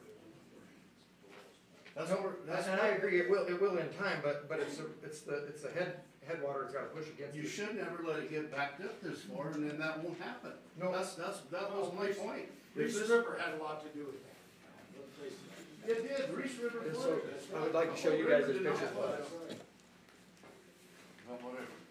So I'd, I'd like to show you guys this, just so everybody kinda has, and, and I'm happy to clear any ditch, if, if you guys want us to clear ditches, we will, we will do it, that's not a problem. I think, I think it'd be a You see my, smart thing to do. so here's the, now, there's the river. Every, no matter how fast you push this, it can't push that. This is my theory, now, I wasn't here for it. They needed an after picture. Nineteen eighty-four, we had a And much so- bigger rainstorm than what we just had three years ago. And they What year were was that? in the same situation, they had to get livestock up Okay. So, so I guess the last thing I'd leave everybody with, to- just for, for thought here, is the Humboldt, and I can't remember what it is, but it's like three hundred miles long, and it's the slowest flowing, it has no fall. It's almost dead. Um, so, so if we get hit heavy from Elko area and from the Reese River at the same time, then, then we have, we do have a, it's, it's gotta be a perfect storm for us to end up what we're in. The ground was frozen, it was frozen three feet when, when it rained. And that's why all that water stayed on top of the ground, it couldn't go in the ground. Well, that makes sense. Lenny's right, because I was home in the service during that time, and I came home for Christmas in nineteen sixty-one, sixty, sixty-one. Oh. And it was twenty-eight below zero. Oh, yeah, no, I, and like I said, I was not hearing it, and if it's a, if it's a matter of us doing maintenance, and I'm, that's what I'm pointing out, if it's a matter of us doing maintenance, we happily wanna do the maintenance. Okay, and so if we have public comment, like Lou, make sure you come up here so we know who you are. So, um, Under Quick just, um, enlightened me on something. He said when this was originally, and I don't know how long ago this was, so whoever remembers this, please let me know. A handful of years ago, when this first came up, the idea was to put the amount of money that this was going to cost into an account and then take the interest from that account and subsidize the flood insurance for Lander County. Does anybody remember that? Yes. Okay, okay. How long ago was that? Do you remember? Probably ninety-eight, Okay. yes. So do you remember anything, Keith, um, whatever, ha- I'm just trying to, you know, filter all, I- you know, everything that's going on here. Do you remember whatever happened with that? Was that just decided that I- wasn't a good idea, or what happened? So I with do remember those discussions. Um, I don't remember when it started, Okay. obviously. But I do remember we having discussions before we, in the previous commission, where we talked about taking the money that we would put into the levee and paying, um, paying the, uh, the flood insurance for the, for the affected areas. Um, at the time, what was decided is that we would move ahead with the levee, um, and not do that, not do the, the insurance. So there was a point, uh, six years ago maybe, where we decided, where it was decided to go ahead with the levee and the Army Corps of Engineers. Um, and then, of course, they were fired recently or let go, so. There was discussion of that, but there, it, the discussion ended up being to move forward with the levee itself. Okay, and so with all that being said, was it ever thought to use net proceeds to pay for that instead of, To pay for the to pay insurance? for the levy? Well, that, that's. Is that where it's coming from? Is it yeah, being paid it's for net- It's net that? proceeds Oh, money that's in the cap, the CCP fund, Oh, capital. okay, all right. Capital Construction Project Fund, um, and that money's been rolled over Okay. Every year. It's been rolled over. I believe there's just under five million left in it, Okay, um, from an original six million. That, Okay. that, when I, when I, from what I can remember when I started, there was about six million. And it's, every year it's rolled over, and like I said, we're just about four point eight, I believe. I can get an exact number if that's Oh, what you'd like, but we're about, just under five million is what's left in that account that's been rolled over for, for several, for many years. Well, so would it be plausible to move forward to where, um, they get the mapping done, and at that point, we put it out for the community to decide what they want to do, to- for public to decide? Yeah, I think we should move I mean, we forward to move forward to that stage, point, and then at that point, when they've got the mapping, that we, um, can put it out for, you know, the community to see what they want. That, I mean, yeah, we need revised maps, it's yes, absolutely, so, so, you have some type of motion? I will make a motion that we move forward with the Battle Mountain levy project uh, through the um, CLOMR process. And after the remapping and approval, then we can bring it back for further discussion. I'll second it. Any more public comment? Uh, All, all in favor? Aye. Aye. Aye. Opposed? All right. Muted. All right, Unmuted. moving on to Number four, for possible action to approve or disapprove the renewal proposal, uh, proposal for Nevada Public Agency Insurance Pool in the amount not to exceed four hundred and thirty-six thousand, one hundred and thirty, excuse me, I'm gonna start that again. Four hundred and thirty-six thousand, one hundred and forty-three dollars and seventy-five cents, and approve for the payment of the fiscal year twenty twenty and twenty twenty-one funds. Kathy, I gotta get Alan on the phone. Okay, So this is our annual renewal. Okay. We do this every year. Your Um, entry is not valid. Pool, uh, POOL/PACT Representative Alan Culp, their chief, chief financial officer, will be on the line shortly. Um, to answer any questions you might have. Like I say, we do this every year. I don't know if Susie's here. Good morning, Alan. Good morning, Alan. I'm gonna transfer you to the bridge, okay? Excellent, thank you. Your entry is not valid. He should be on. okay, all right. Are you on there, Alan? Yes, All right, yes, very I good. am. All right. Alan, I Good gave a morning. short introduction as to uh, our annual renewal, that you would be able to answer, answer any questions that the commission has. Um, Susie is not here right now, so it's, um, it's all yours. Excellent. Thank you, uh, thank you, Keith. Thank you, uh, Board of County Commissioners. On behalf of the pool, uh, uh, pack staff, I want to thank everybody for your continued support of our program. Uh, we appreciate all our members. We're a member-owned program. And, uh, we've in, included in the packet coverage summary report that talks about the different levels of coverage that are provided with your membership pool. Your maintenance deductible is five thousand dollars. Um, the increase that we saw uh, across the board was um, a little over a percent. The increase for Lake County was eleven point four percent. Uh, the reason your increase is a little bit higher is that your exposures went up. Your total insured values were up six point one three percent. Your payroll was up seven point one one, and your auto counts were up uh, uh, six point three eight percent. One of the things that the pool uh, prides itself on is our member services to to the members, the different uh, services that we're able to provide. You know, starting with our Hallmark uh, HR program, and Mr. John Bates is your business partner, uh, and there's a ton of uh, on-site training, e-learning, um, alerts, and things we assist all our members with. Um, on the risk management side, we we do some risk management on. We have law enforcement, fire protection programs, and training that we offer. We have some risk management grants, and that information um, is included in your packet.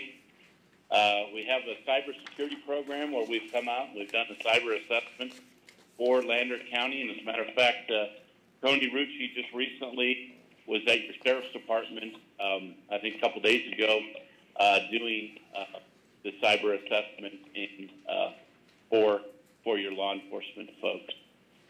Um, I'd be happy to answer questions that you have. Alan, this is Commissioner Waits. I, I do have, would you just elaborate on that? Um, I thought we had cyber risk coverage, and yet it says you we have a new separate cyber risk coverage form. Uh, Did we enhance that some way, or?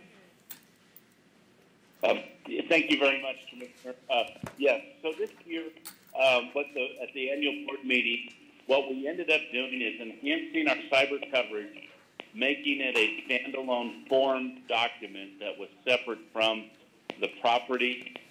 And the thought process was we did not want to have conflicts between certain areas of the form that could be construed one way and cyber construed the other. Um, and so if we look at in your pack, three million dollars. Um, your security failure and private uh, management coverage sublimit is a hundred thousand. The network interruption sublimit two hundred fifty thousand, and the proof of loss preparation cost is fifty thousand. And and all of that, it's been in effect. And with the new form, we went retroactive back to July one, two thousand fifteen when we originally started to provide cyber coverage. So it's been enhanced, and then our cyber uh, risk management services that we provide, because cyber is becoming more and more critical to our members, provide more services associated with that.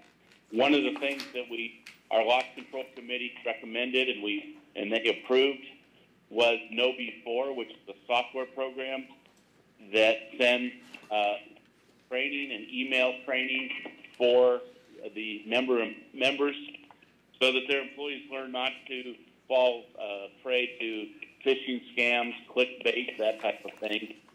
And if they do open uh, an invalid email, then they get directed to uh, training. It's like, you know, hey, you should not have opened this um, type of thing. So that's something that's uh, getting pushed out to the various members to get implemented at, at the entity level. Thank you. Um, I do know that actually all of the counties do belong to, to POOL/PACT except for what, Washoe, Clark, and Carson City, I believe. So um, you have always done an outstanding job for us, not only the response time, but your extra training and all the rest that goes with it. So I will make a motion that we approve the renewal proposal from Nevada Public Agency Insurance Pool in the amount not to exceed four hundred and seventy-five cents, and cents, and for the approval for payment from the fiscal year two thousand twenty to two thousand twenty-one funds. Second. So any public comment?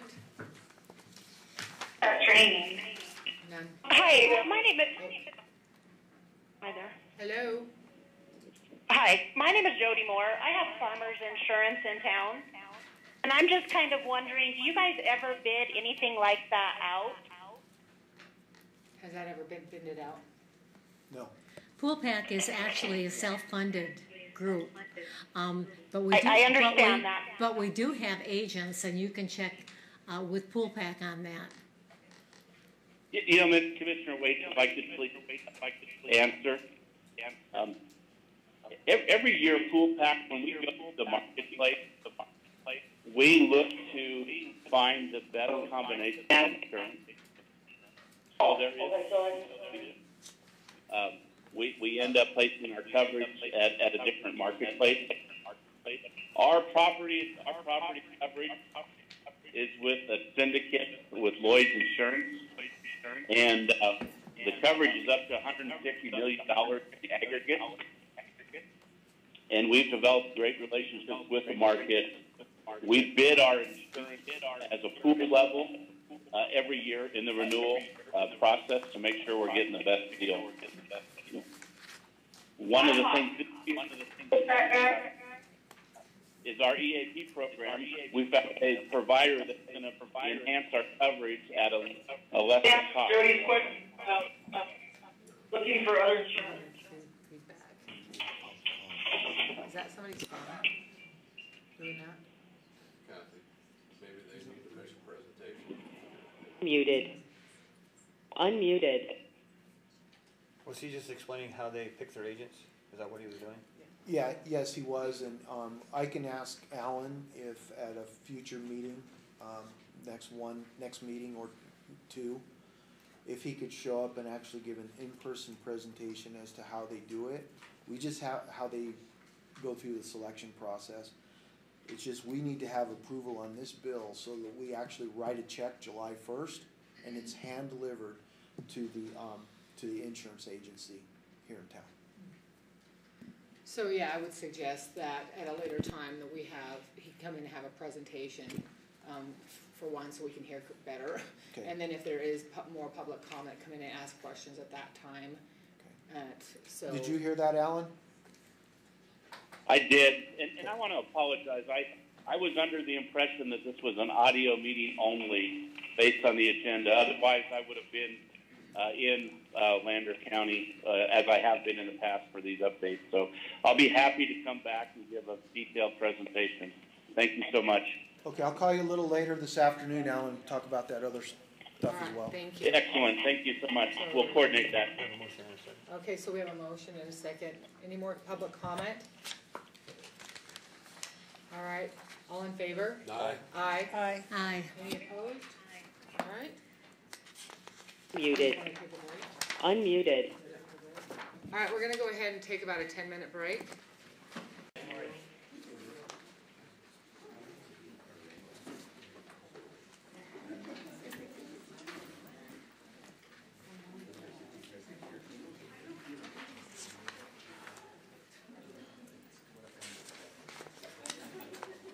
Okay, everybody in the audience, we'll have to have you quiet down, please. Thank you. You ready? Okay. Moving on to item five. Agenda item, oh, no, yeah, agenda item five. So for discussion and possible action regarding the Lander County, uh, Lander County, Nevada County Manager Employment Agreement dated August 9th, two thousand eighteen between Lander County and Keith Westengard, including but not limited to the termination of the agreement pursuant to section four point two. Madam Chair, this is High. Okay, we, can- it's a little tough to hear you. Hi, this is Kathy. I have been formally notified that uh, this item may involve litigation, and I would advise the commissioners to recess at this point for a litigation meeting, and then to resume the county commission meeting following that. All right, very good. So we're gonna, uh, go ahead. Hi, will you hang up and Keith will call you when he goes into litigation? I will right now.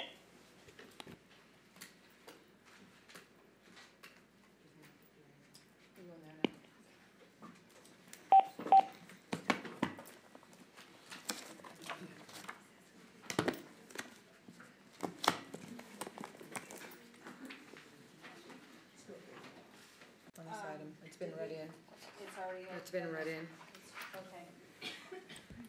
So I'm gonna make a motion that we terminate the contract dated August 9th, two thousand eighteen, between Lander County, Nevada's county manager and Lander County employ- employment agreement pursuant to section four point two thereof, to be effective July tenth, two thousand twenty. I'll second the motion. May I make a suggestion as to uh, additional term of the motion? Absolutely, hi. Um, I believe it should include uh, the um,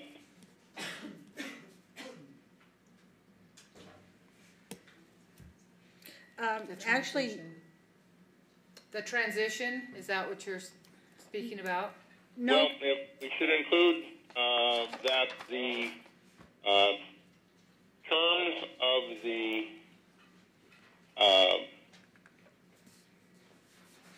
buyout pursuant to section 4.2 um, shall be reduced to writing between the employee and uh, the county and authorize the chairman to sign. Okay, could you repeat that again? The terms of the buyout, Um, pursuant to section 4.2 shall be reduced to writing, to be reduced to what? be reduced to writing, To writing? to writing, yeah, Okay, between the employee and the county and authorize the chairman to sign.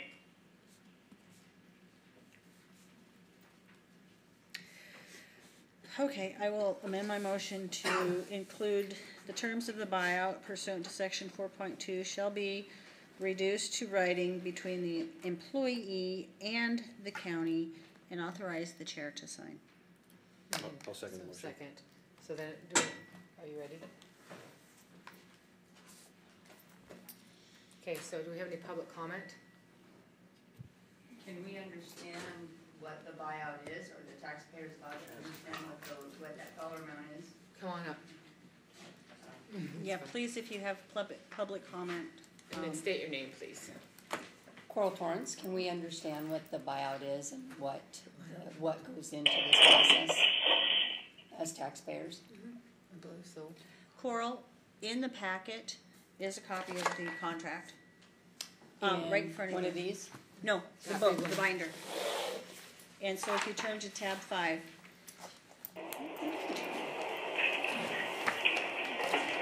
So, Good job, Nathan. so this information, the contract is recorded with the court, recorder's office, so it is public record. It's also, um, when the contract was entered into, um, in the commissioner packet that is available to the public. So you can read, um, what the terms of the contract state. Um, Can we understand though what this verbiage just was, that it's going to be different? Hi, per- since, I'm sorry, Coral. Hi, since that was part of the litigation, is that something we can put forth now, or does it have to wait until the agreement is drawn up? Hi, are you there? I am. Okay. Uh, I don't like to shoot from the hip on these things, so give me just a moment to digest it. Um,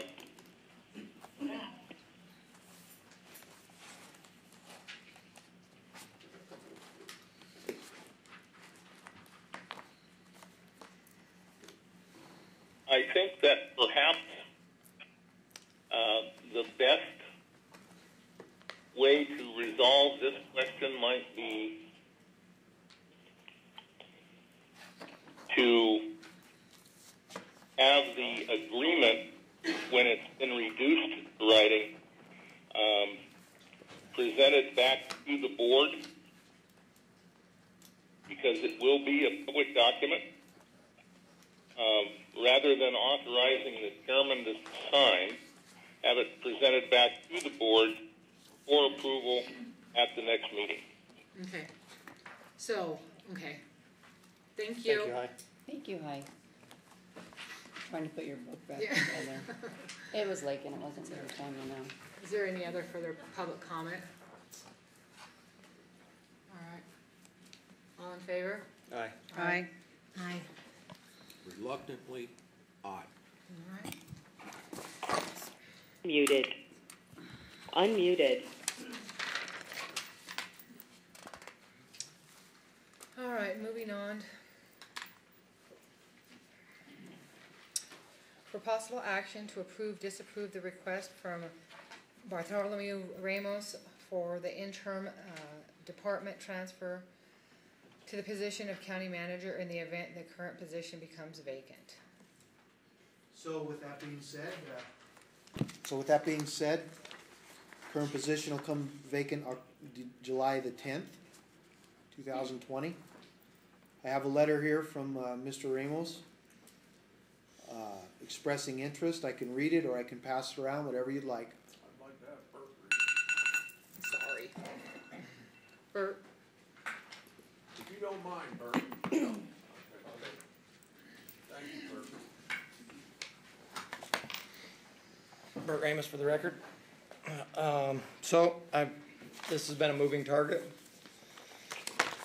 There's been a lot of talk of this for years, and I don't know what happened in litigation, but I put in my request to Keith because I feel that my time in Lander County and, and the positions I've moved from and to, that I do have some working knowledge of this position. And obviously, it's at the board's pleasure that I would, I would like to be interim at least. Um, and if you guys so choose to go out, then I respect that as well, and I, and I would like to retain my current position, um, but be interim in, in between, if that makes sense. So with that, um, I wrote, Dear Ms. Westengard, in the event the county manager position becomes vacant, I formally request an internal department transfer to the position of county manager.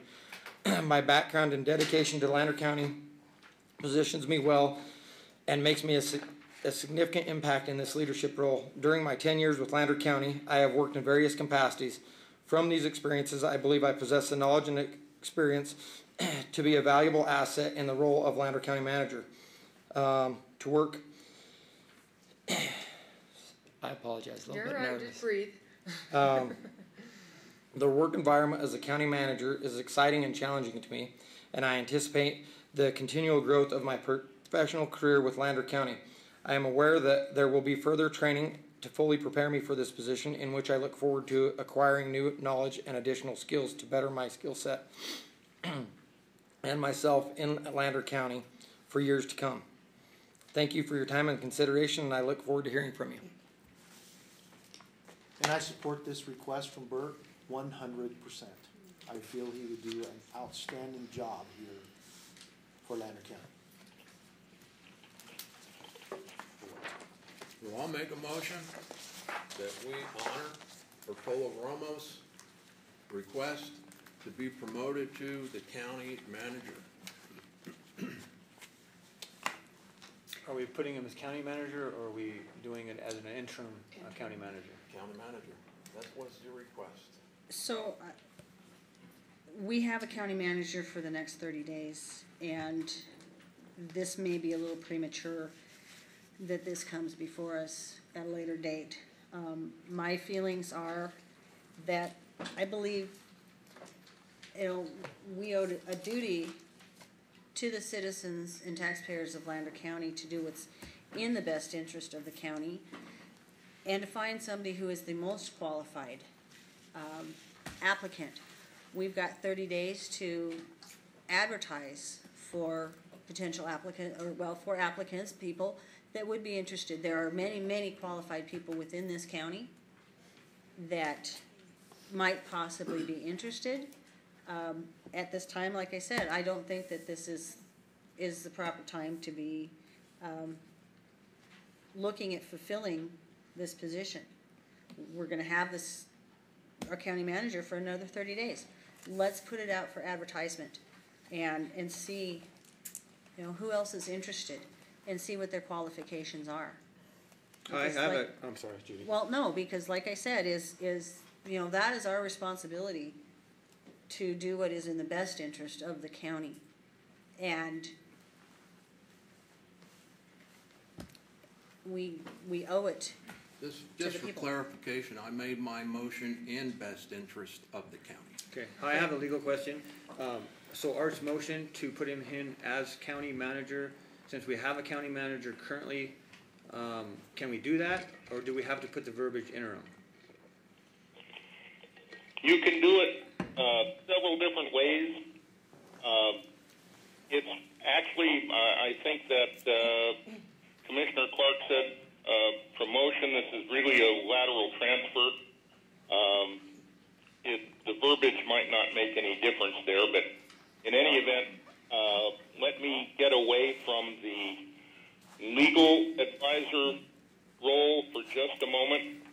Uh, and as a matter of comment, my suggestion would be if you, if, if it's the commission's desire uh, to have Mr. Ramos act in this position, uh, I would suggest that uh, it be as an interim county manager for a period of six months, uh, effective uh, July 10th, 2020. Uh, that would give the outgoing uh, county manager time to transition, would give the incoming interim county manager time to transition, and it would give the board time to evaluate Mr. Ramos's uh, performance. If you choose to do it that way, my further suggestion would be that uh, in the event the board does not uh, continue him in the permanent position of county manager, that he revert back to the position from which he transferred.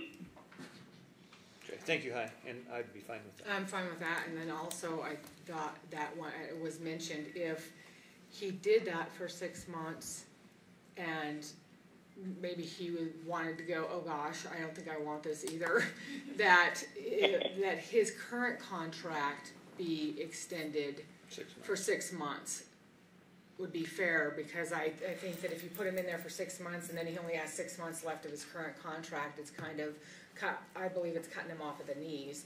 Or if he's in there, you know, he's in there six months and it works out and he wants to be there, that's fine, we go on and figure it out from there, but it's six months, him or us decide that there's a problem, that his current contract be extended six months. Now, is that something that can be done, Hi? Um, I think that's your next agenda item, isn't it? Yes. Yes. Okay, all right. So I'd like to make another comment. Okay. Is, um, basically doing a lateral transfer. Um, the employee's wages remain the same, is, you know, our current county manager is, through the process, has gotten, you know, cost of living raises, um, performance raises. Also, part of the reason for his salary being what it is, is because of being the safety manager, um, you know, being the HR, being the county manager. And I'm sorry, but if we were to advertise this and bring someone else in, we're not gonna be starting them out at the wage that we are now. Is, that's another consideration to consider, you know, is, Absolutely, we're. Can, can I address that? Yes, absolutely. Um, so in the process, we, I slapped together, and it's on, this goes back to this next agenda item as well, so I'm not sure if we should open it, and, and, but just to address your question, um, or your concerns, I should say, is I've looked at me and Keith's wages since, since this happened, and, and since I put this in, and we make outstanding money, that's, that's, for lack of better, better words, we, we make, I'm not asking for a penny in, in my salary to be adjusted a bit, I'm not taking this job for the money. but what I'm Um, saying, Bert, is, is to start out in the position as county manager at the wage you are now, if we were to hire someone from the public, we certainly wouldn't start them out at what you are starting out as county manager. Correct, but I, I would, be- I would be taking on additional responsibilities, and my pay isn't gonna change from where I'm at right now currently, um, if I stay where I'm currently at. So, in, in the light of cost savings, it would actually be a cost savings to replace me and move me into the county manager's position at the same rate of pay. I'm not asking for the rate of pay to change, and that's something that, that I was gonna address in the next, in the next agenda item. Right, I'd like to point out, we're kind of getting into the next agenda item, but I'd also like to point out that it's this commission's pleasure, per NRS and code, that we, it is our ability to appoint who we want as our county manager. End of story. So, just wanna make sure that's clear to everybody. So. I do have a comment, um, and, and I, I do agree with, with Commissioner Allen. I think uh, our ordinance puts forth the qualifications for this position, and I think that we certainly would be most prudent to at least go out and advertise the position to see uh, if there is anybody qualified that actually could step into a county manager position.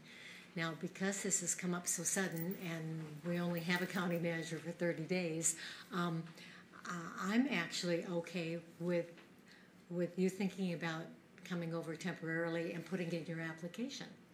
Now, to do that, um, we're gonna lo- lose Public Works, although I'm sure you'd be still part of that. Um, but I certainly would not wanna touch the salary. I mean, if you're coming over temporarily while we go out to see if there's anyone else and, um, that may be interested and, and have a committee that we always have to choose someone. Now, I don't think it can be done in the thirty days. I, I truly don't. We'd have to really, really work hard and it may or may not be. Um, but even if we went beyond that, and we have an agreement with our past county manager to be, that, that will help us. So if it takes two months, and if you're in temporarily, and if you don't get that position, um, then you would go back to your full public works as you were.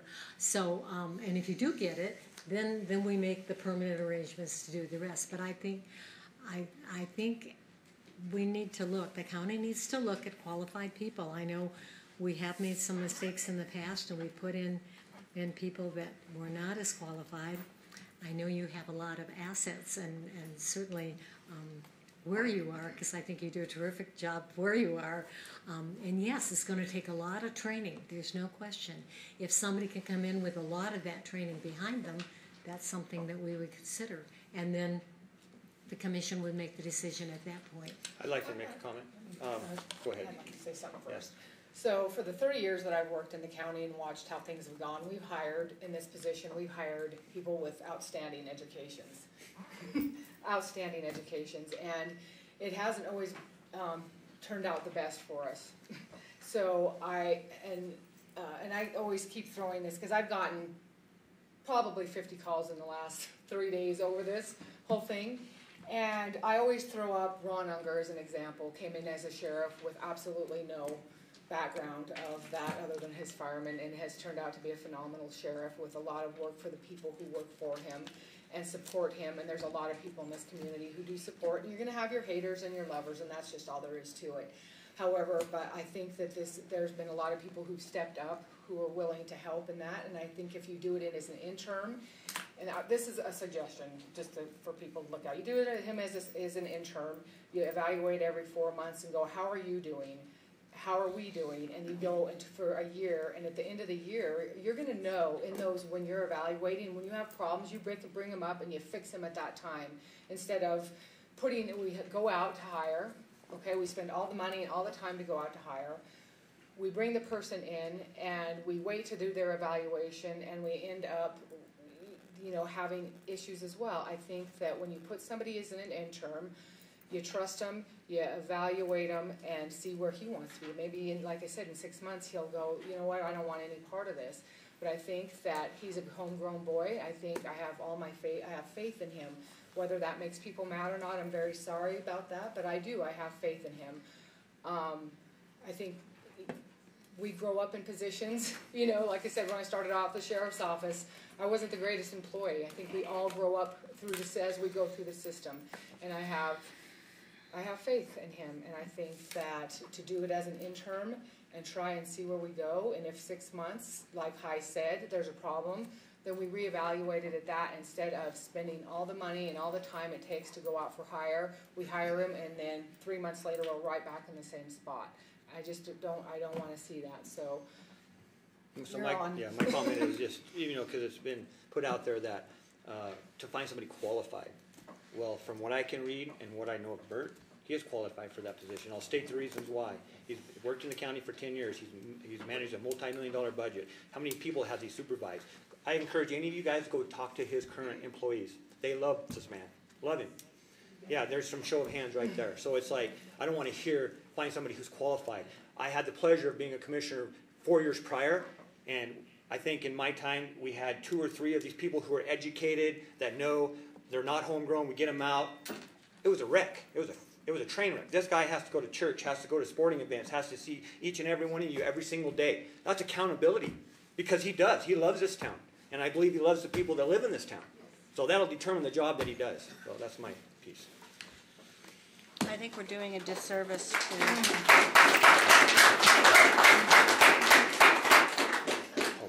Public comment? John Davis for the record. No disrespect to the current outgoing manager, but when the county did not hire Joe Quintana to fill this position twelve years ago-ish, that, not only did you lose a family, you lost a teacher, a very good teacher in the district. You lost a family that was irreplaceable. They're gone. They're never coming back. Uh, the interim, you, you need to put Bert in there in, the- in the interim. You're not gonna find anybody in thirty days. Government doesn't move fast enough to get anybody in there in thirty days. He has a recommendation of the outgoing manager. I, I think it's a, you're beating a dead horse for lack of a better term. Uh, put him in there as an interim for a minimum of six months.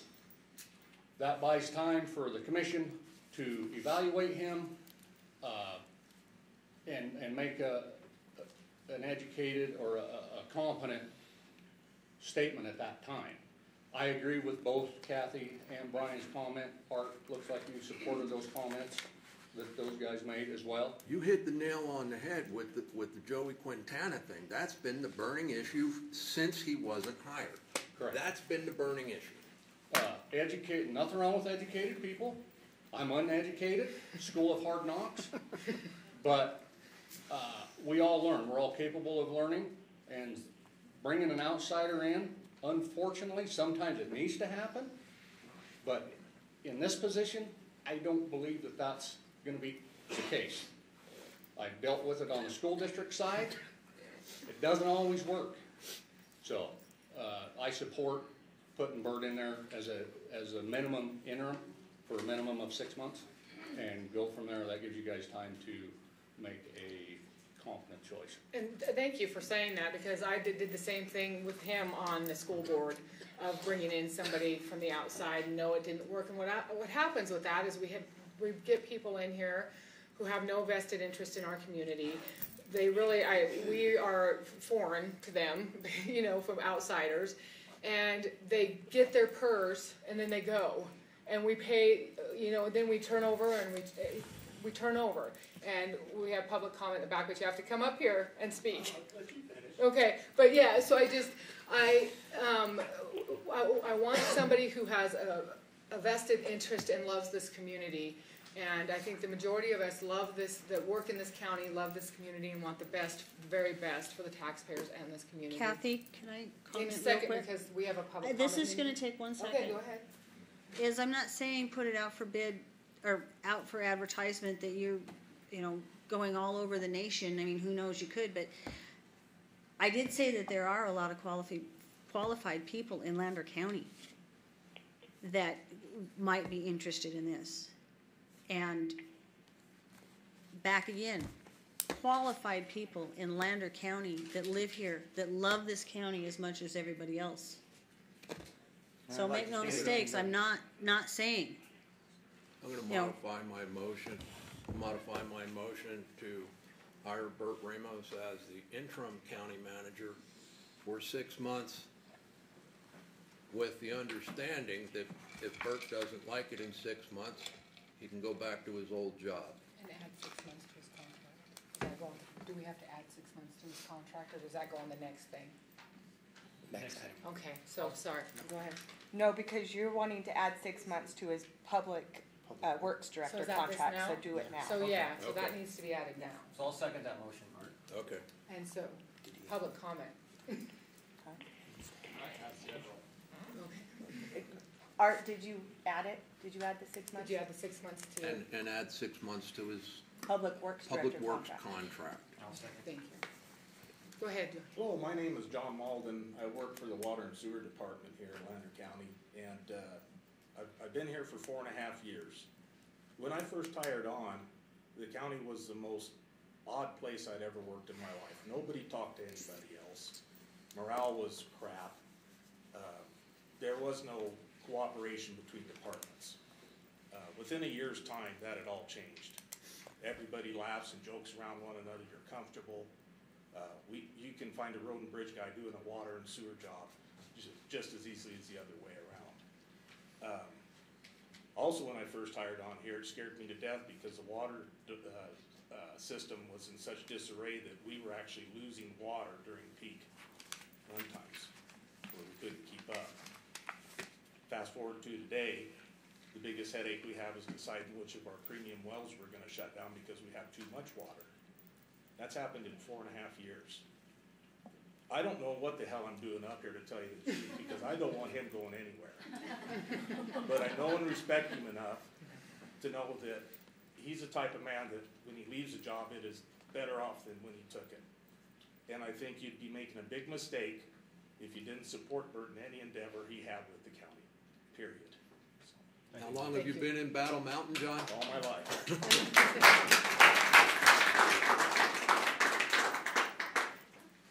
Try to state your Um, name. I'm Shirley Shepherd, and um, I think the idea of hiring or having Bert or anybody from hometown move into this position is an excellent decision. So that's how I feel about that. The only thing, problem I have is, as a community member that's been involved in, I try and get involved in everything that I don't feel is right.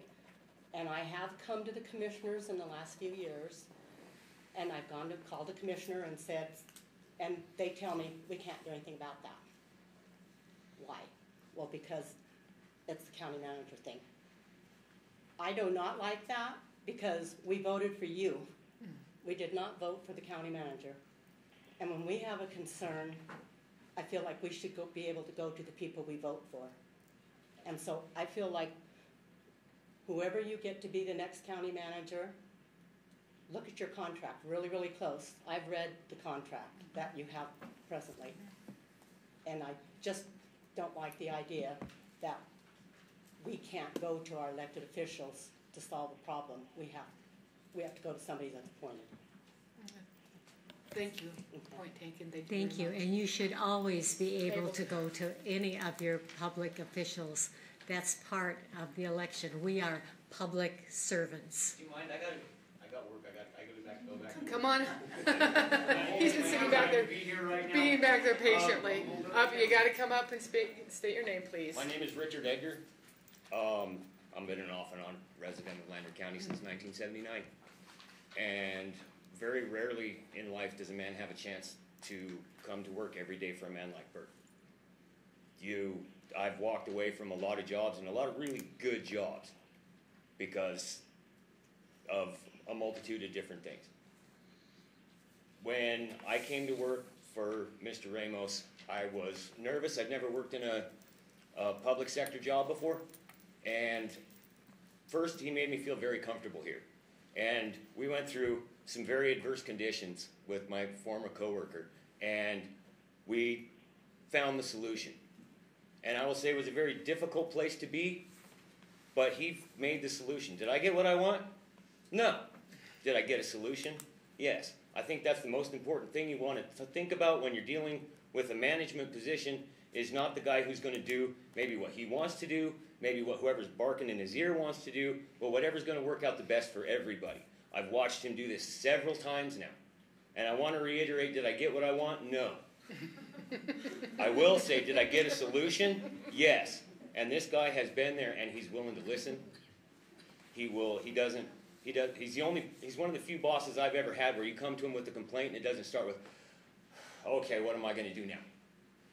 Okay, he listens to what you have to say, he allows validity to what you're trying to come across with, he gives you his time. I know he's a busy man, he doesn't, he probably doesn't have time to listen to me complain, but he does. Whenever I have something I feel like I need to discuss with him, he gives me that time, no matter what. If not at that moment, not too long in the future, he does that every time. I think it would be well within the best interest of Lander County to give a man of this caliber the job. If I've ever seen anybody put their heart into something as much as this guy does, I probably couldn't stand here right now. But I want you all to know how much I appreciate the guy that I work for right now, and I'm going to back the sentiment of John. I don't want him to go. But I'm not going to stand here and try to hold him back either, because he really does deserve better. Thank you for your time. Thank you very much.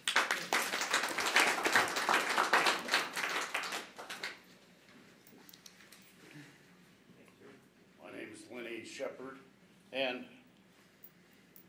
I'm, I know he's more than qualified. But this position is just like my wife was saying. You call a commissioner, they can't do anything. They listen to you and that's it. This job should be a comptroller job. It should be an elected position because somebody has that much power, should be elected where we can vote them in or vote them out.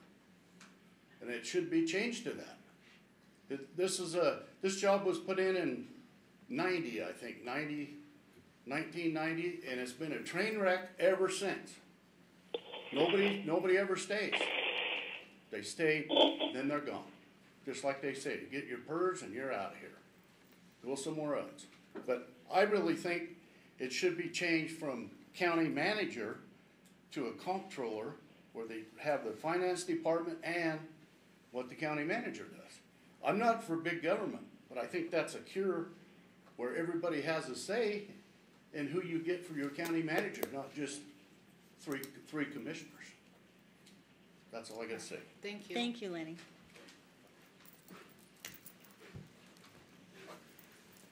Anna Panola, um, I think it should be stated to why we have a county manager and you guys are commissioners.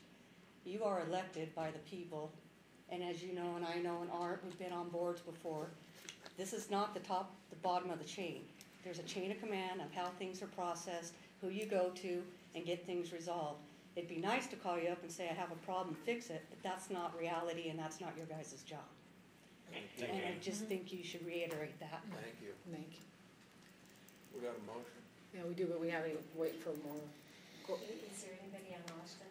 Is there, it, is off, no, because I think for public comment, everybody's open. Is there any more, is there any, uh, um, comments from Austin?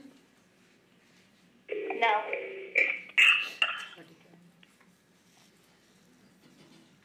Any more public comment?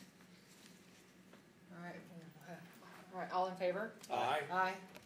Aye. Opposed? Nay. Of course you would.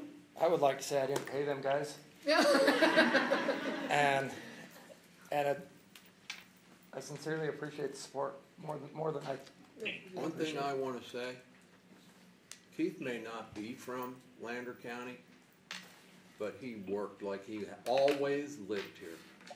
The man, you cannot,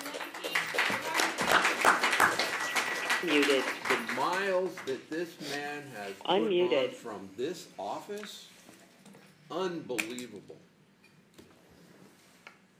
So are we going to go ahead and break for lunch? Yeah. All right. So we'll go ahead and reconvene at one fifteen, yes? All right, we'll go ahead and reconvene at one fifteen, thank you. All right, guys, we're gonna call the meeting back to order.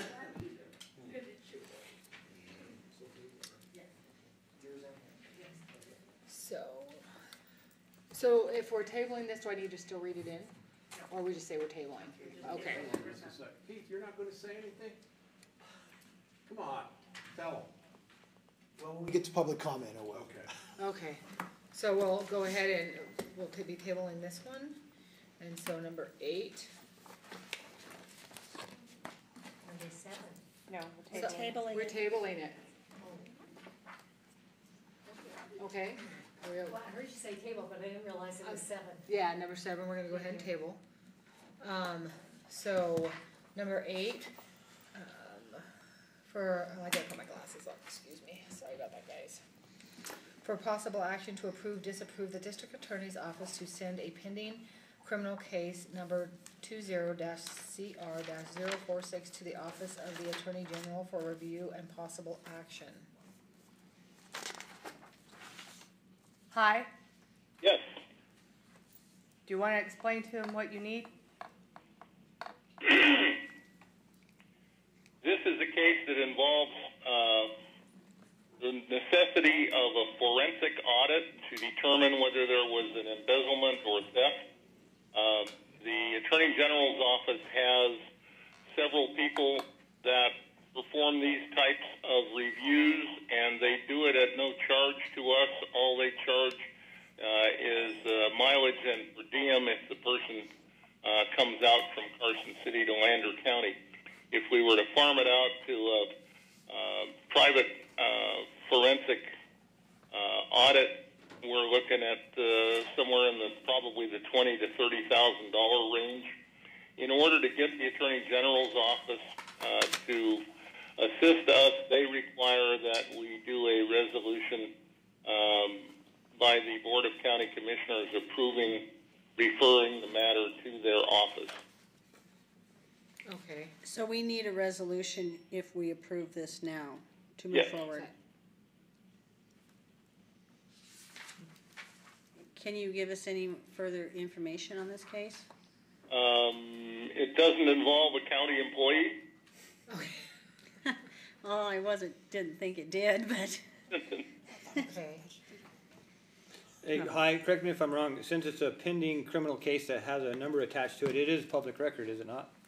No, no, uh, nothing has been filed with the court.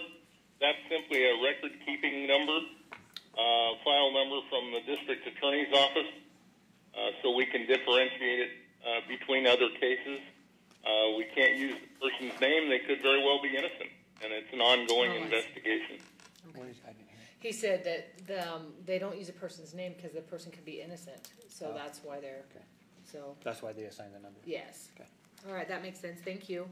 So, I'll mo- make a motion that we approve the district attorney's office to send a pending criminal case number two zero dash CR dash zero four six to the office of the attorney generals for review and possible action.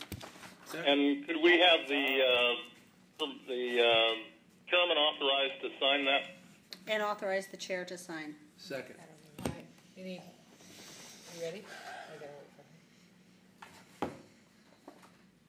All right, is there any public comment? Okay, all right, so all in favor? Aye. Aye. Aye. Aye. None opposed, all right. So then, Muted. um, Unmuted. it's been asked to table number nine. So I was just making sure that she was heard. All right, so we're gonna go on to number ten for possible action to approve, disapprove upcoming events at the Lander County Event Center.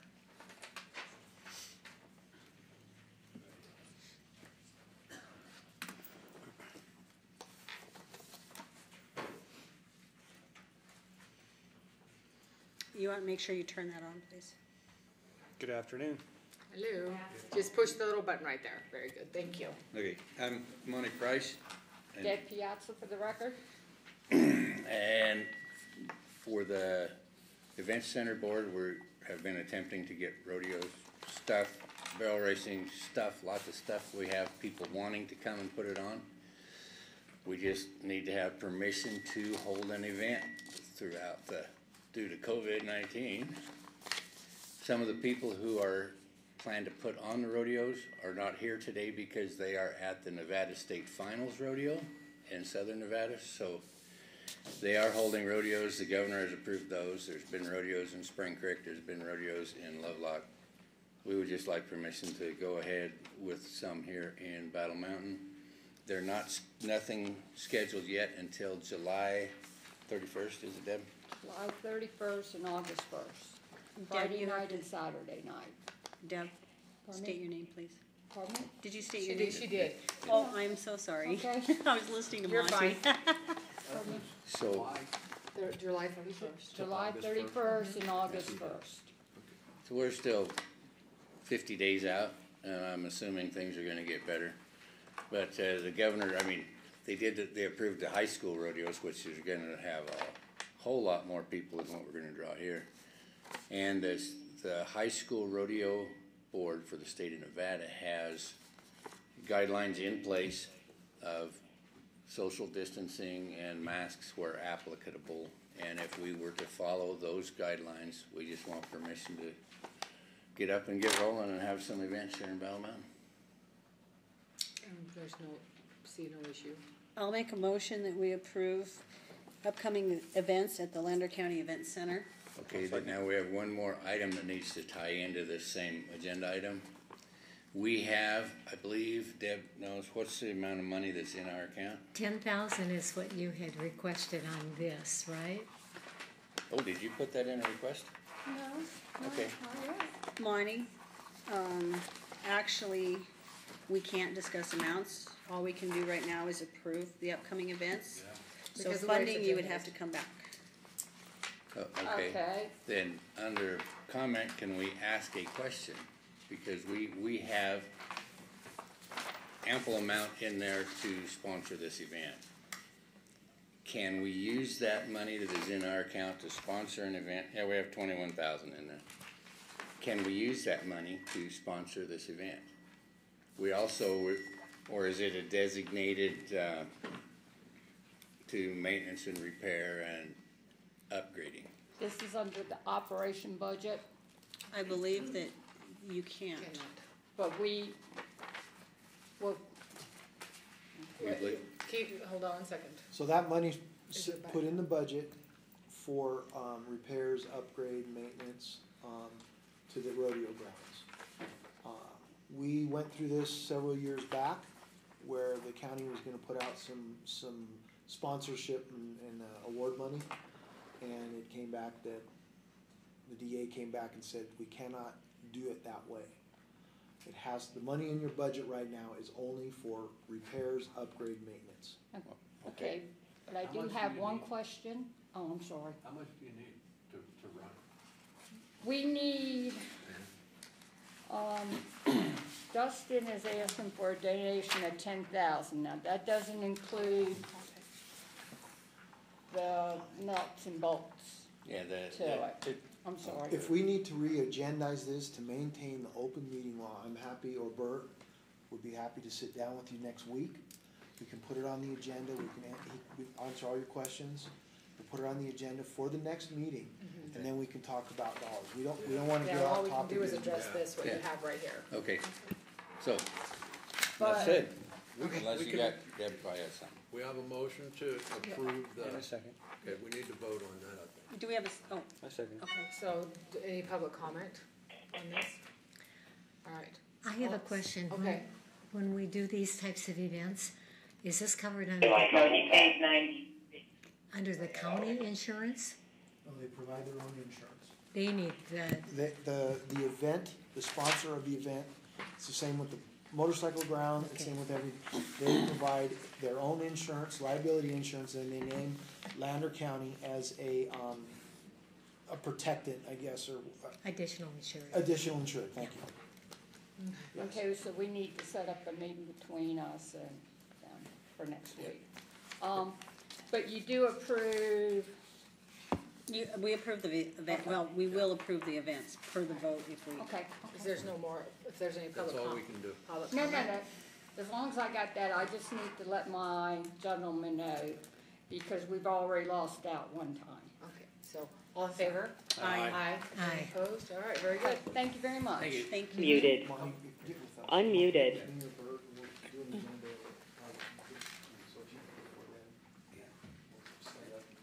And we'll have you on the next week? Okay.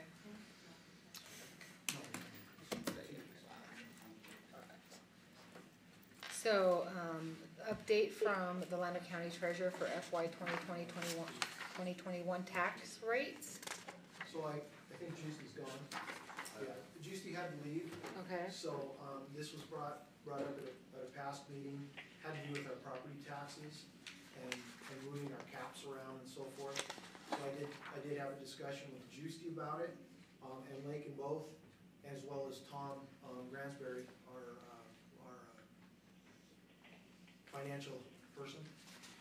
So, our tax cap is set by NRS. We we cannot change that, the commission can't change it, it stays at that amount. What we, and where we're at with how that tax is distributed is we're maxed out. The school is maxed out as well. They are maxed at 75. 75 cents, twenty-five at seventy-five cents. So even if we, re- per, per hundred dollars, I believe. Okay. Right, so even if we were to lower what we have, the school is maxed out right now. They are So- maxed. at So we couldn't juggle numbers around on our side to give a little bit to the school? No, we, by NRS, we are capped, or they are capped at seventy-five cents per dollar. And like- Could, yeah. Uh, Do you have a copy of the NRS? Yeah. Okay. Well, I talked with Russ Klein yesterday. Yeah. His Our- biggest problem, his biggest problem is he's in the hole a half a million dollars every year on Yeah, insurance. no. That's, Oh, on insurance, and yeah. the insurance is killing it, or killing the school district.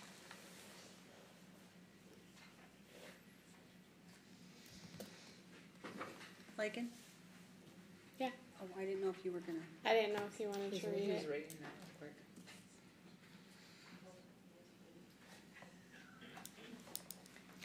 So, just out of curiosity, and I don't know if anybody can really answer this, um, this, the school gets roughly twenty-five percent of the net proceeds that Lander County receives. And I know they've utilized, you know, that for, for their projects and whatnot. Um, does anybody know if they're using now for any kind of operating? Cause I know the county doesn't use it for operating capital, but do They're- we know? I don't know they're not so. using it because they were under the understanding it was being taken away. So they, um. And we had- haven't had any money taken away, and Uh, as far yeah. as I'm aware, the school is sitting in a pretty good financial situation right now. Better than it has in years.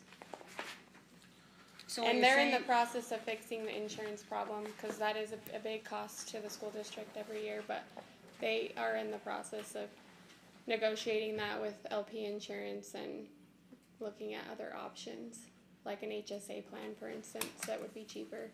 Okay, for the so, county. so they're working on the deficit. Mhm. Okay. Can I keep that? Yeah. Um, yeah, cause I don't see anywhere where it says that it- that's the cap. It just says what we're required, or what is required, but it doesn't say that that's the cap. I, I've been told, Tom explained to me that. Tom Yeah, per NRS, the school cannot receive more than seventy-five percent per hundred dollars assessed value. What, what the school district needs, what schools need is legislation. They need to get the burden of retired people off of their rolls. It needs to go onto the state insurance. That's what's hurting school districts. And that was stopped, I went out in oh-six because if I did at that time, I could get on state insurance and if I, if I stayed another year or two, I wouldn't be able to. But school districts just are not geared to handle that type of, uh, and, and we even talked about combining all three districts, the hospital, the, the county, and the school district under one plan, but they will still send the actuary in to assess the school district specifically. And, you know, I know some of the retired people on insurance, and their medical costs are pretty darn heavy. But their insurance plan, the maximum out-of-pocket that they have is two thousand dollars. That's the maximum that any school district employee will spend. So, And they can get more for their debt rate, but currently Lander County doesn't have a, a debt rate. They're not in, so.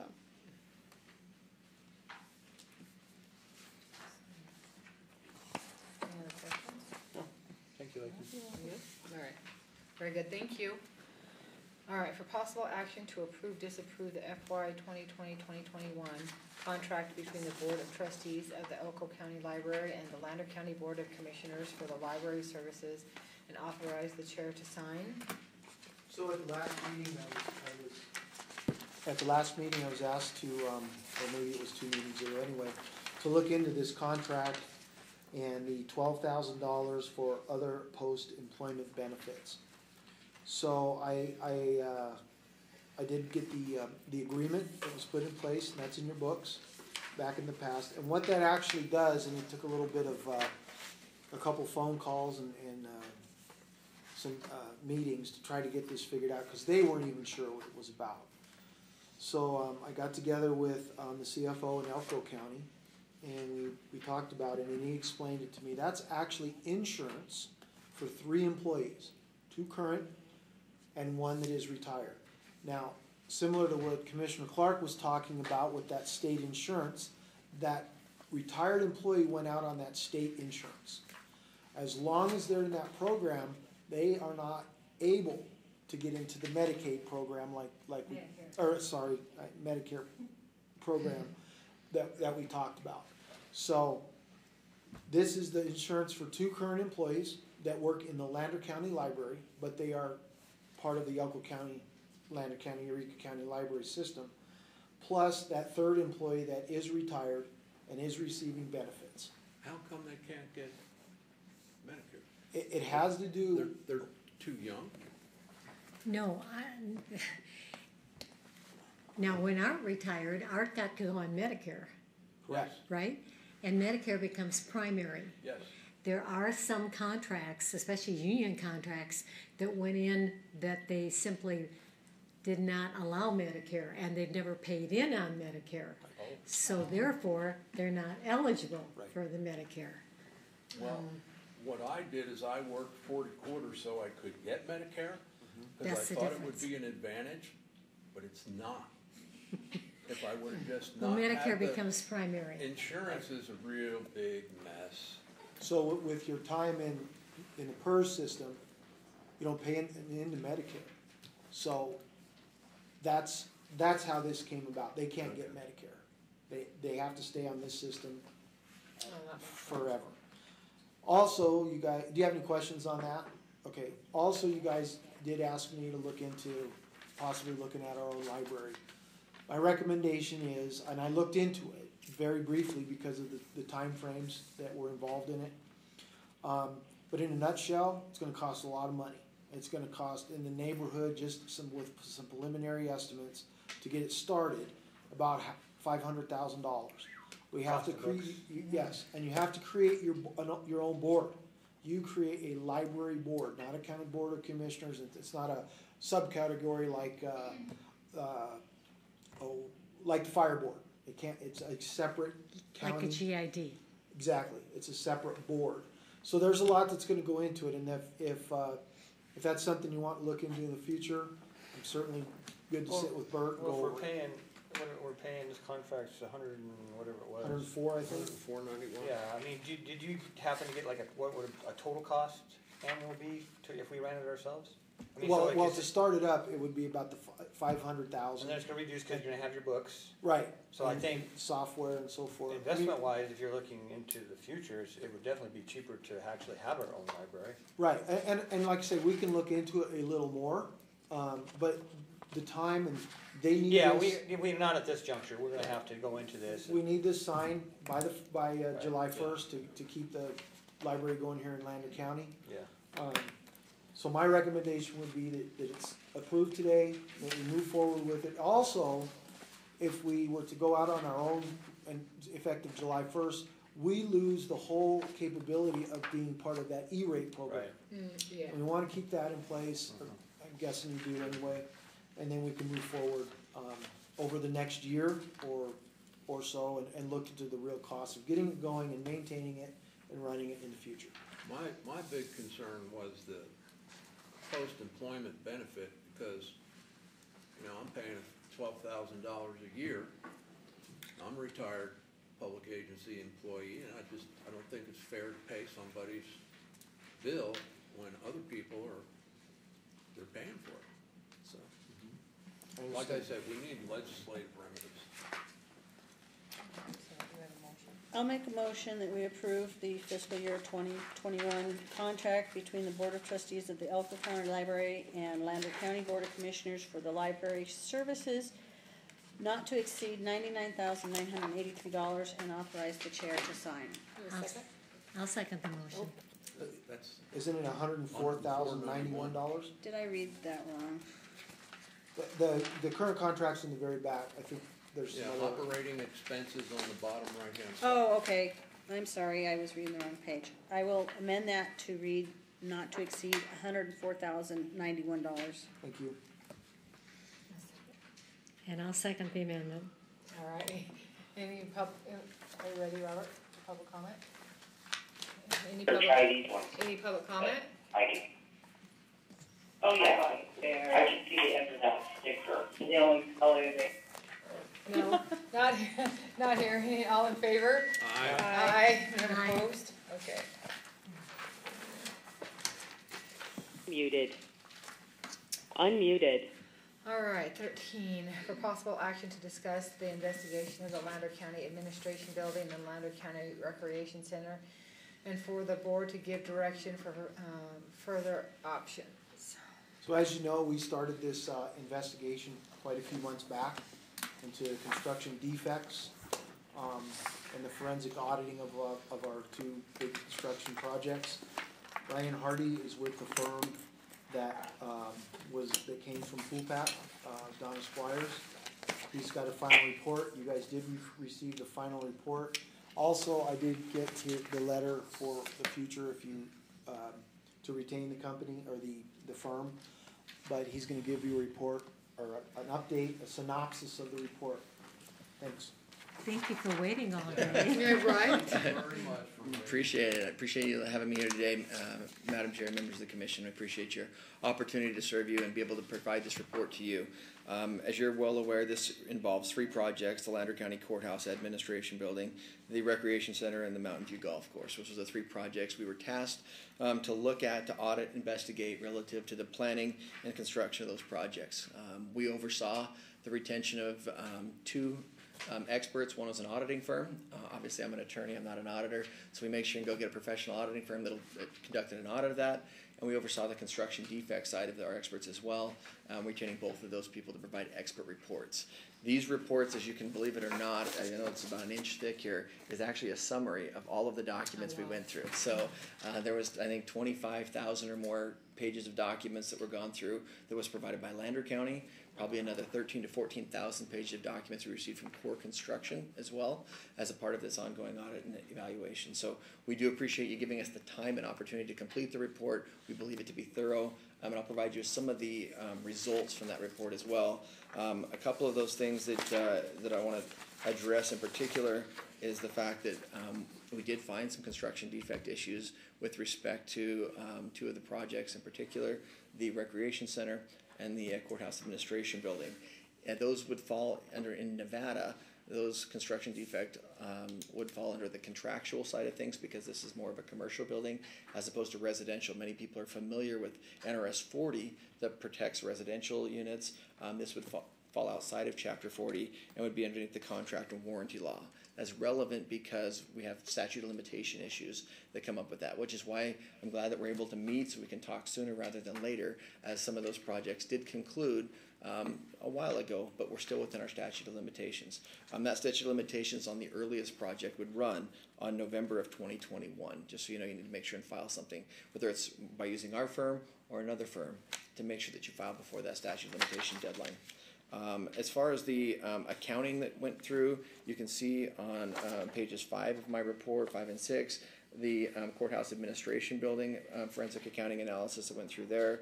Um, you'll see that on nearly every one of the um, the projects that went through did exceed the budget that was allocated for them. So there was a significant number of change orders that were approved and we went through and did analysis on those change orders as well. Some documentation was not provided, um, likely because Lander County did not receive it, and when we asked for it from CORE, um, they didn't provide it, or they simply didn't have it, which would be indicative of some issues that you'll see later on in my report that added up to some significant valuation and damages um, that we believe that would be prudent to pursue.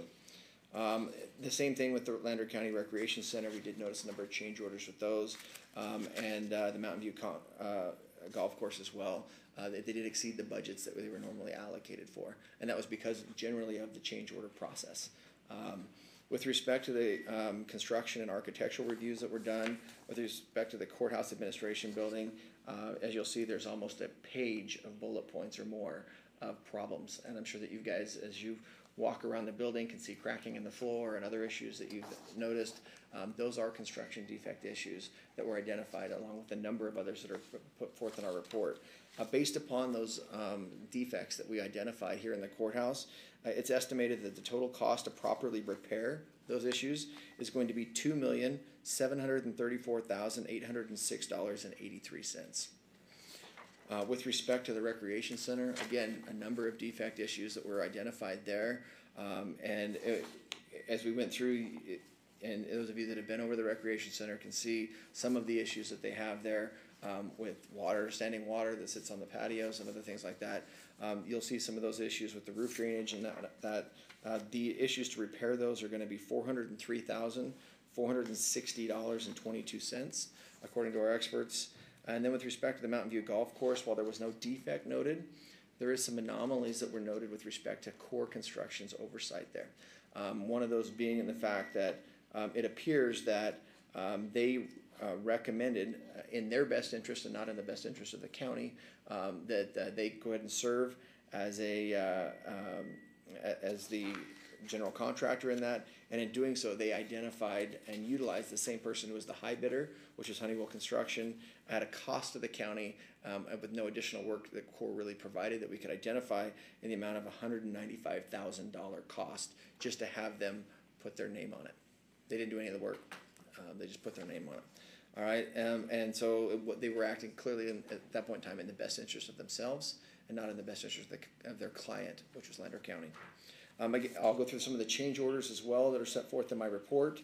Um, I again noted the missing documentation. So these are numbers that are based upon missing documentation. If litigation were to pursue, we would definitely ask for copies of doc- these documents and request them, you know, through a more formal process. If they could produce them, it may alter these numbers up or down. We're not sure, um, but based upon their voluntary submission of certain records, there were things that were missing.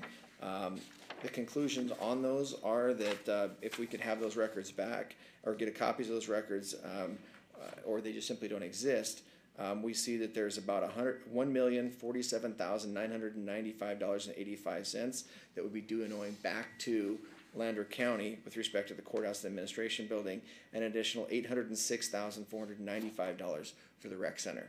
Um, in total, this is approximately five point three million dollars um, that is either damages that were incurred um, as a result of their construction defect, or money that was done with result of unauthorized or unapproved, or simply imprudent change orders based upon their uh, change order process.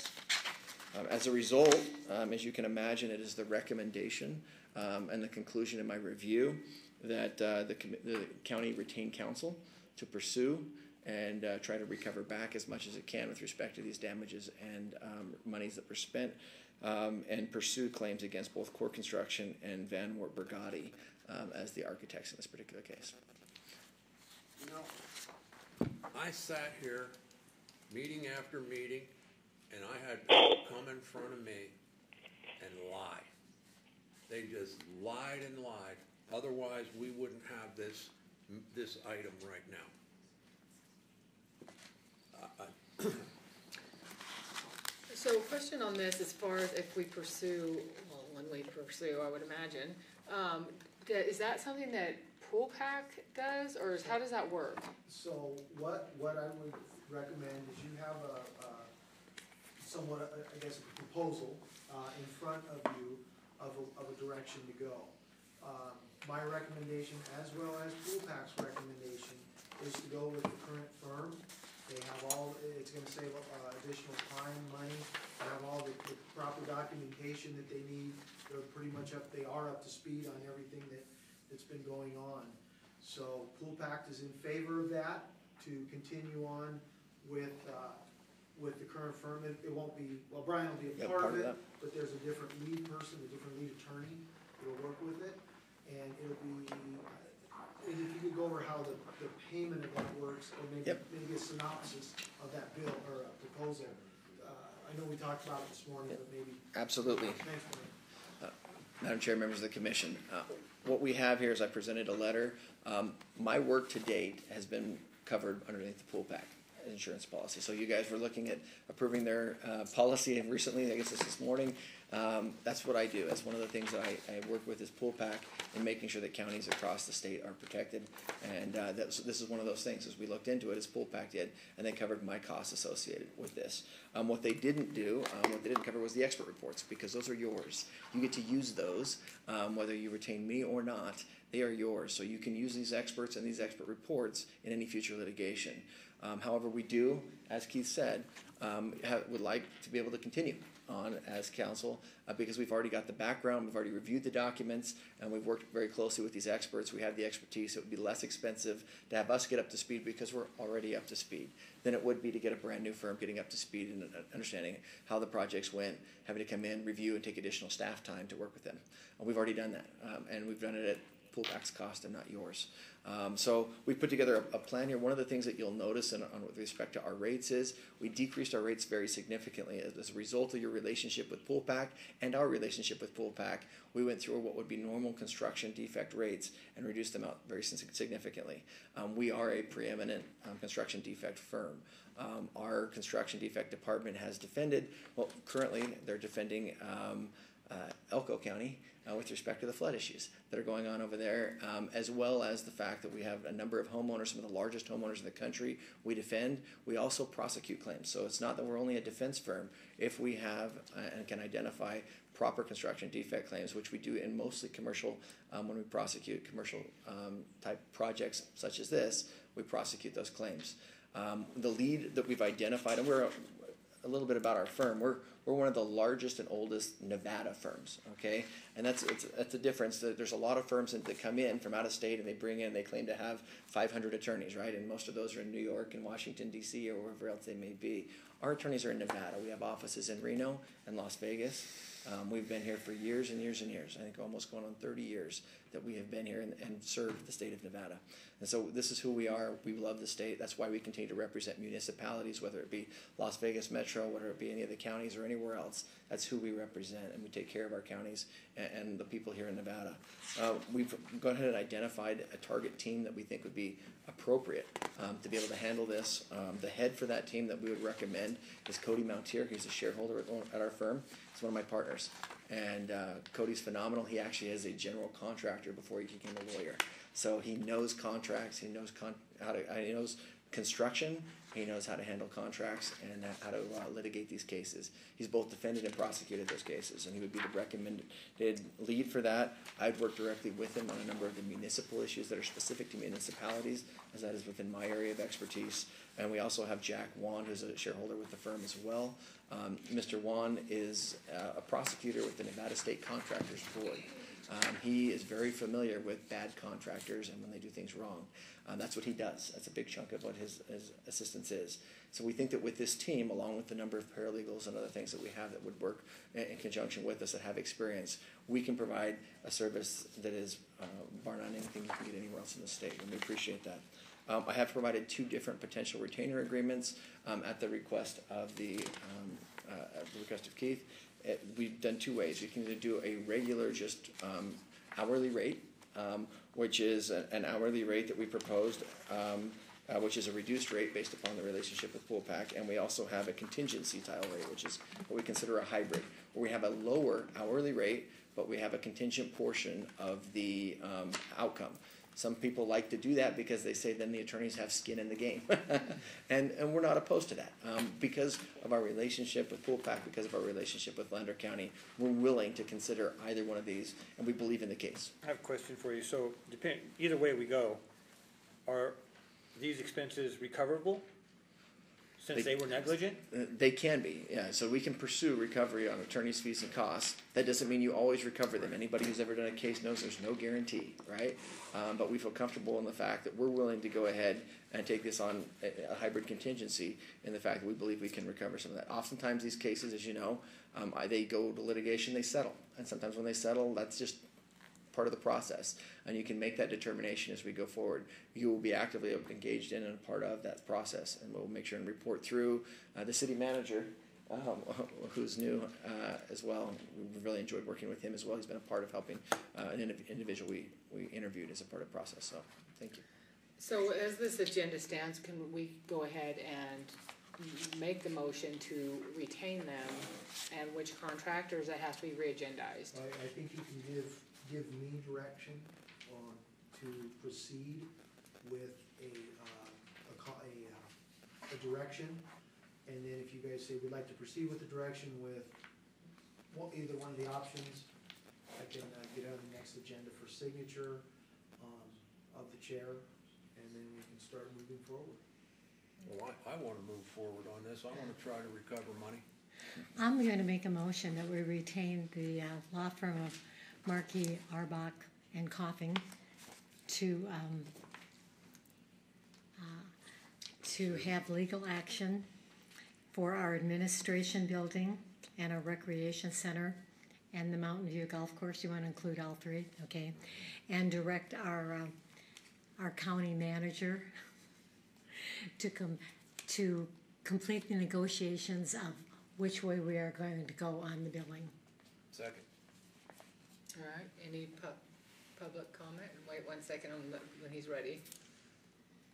All right, any public comment? All right, all in favor? No, I- Aye. Aye. None opposed? Okay, Oh, just- I'm I sorry. just- I'm sorry, I just have, which, uh, proposal or contingency would you like to use, the hourly or the re? No, that's what we want you to do, Yeah. come back Oh, and tell okay, us. I can- all right. I think they're looking for a recommendation. You and I will talk, and Yeah, then we'll we give can them a do that. recommendation. Got it, Yeah. okay. I'll have We it need, for we you need next more week. input on that. I got you. I'll have it next I, I knew right where you were going, Commissioner. So, Thank you. all in favor then? Aye. Aye. Aye. Madam Chair, thank you. Thank members you of the very commission. much. It's really nice to meet you.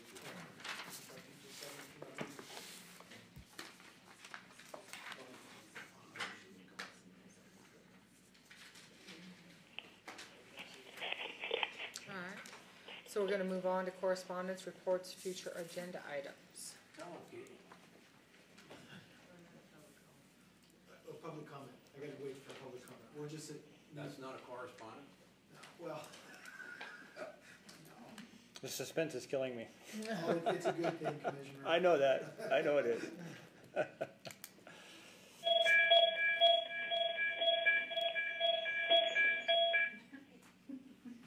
There's your chime in, so go ahead.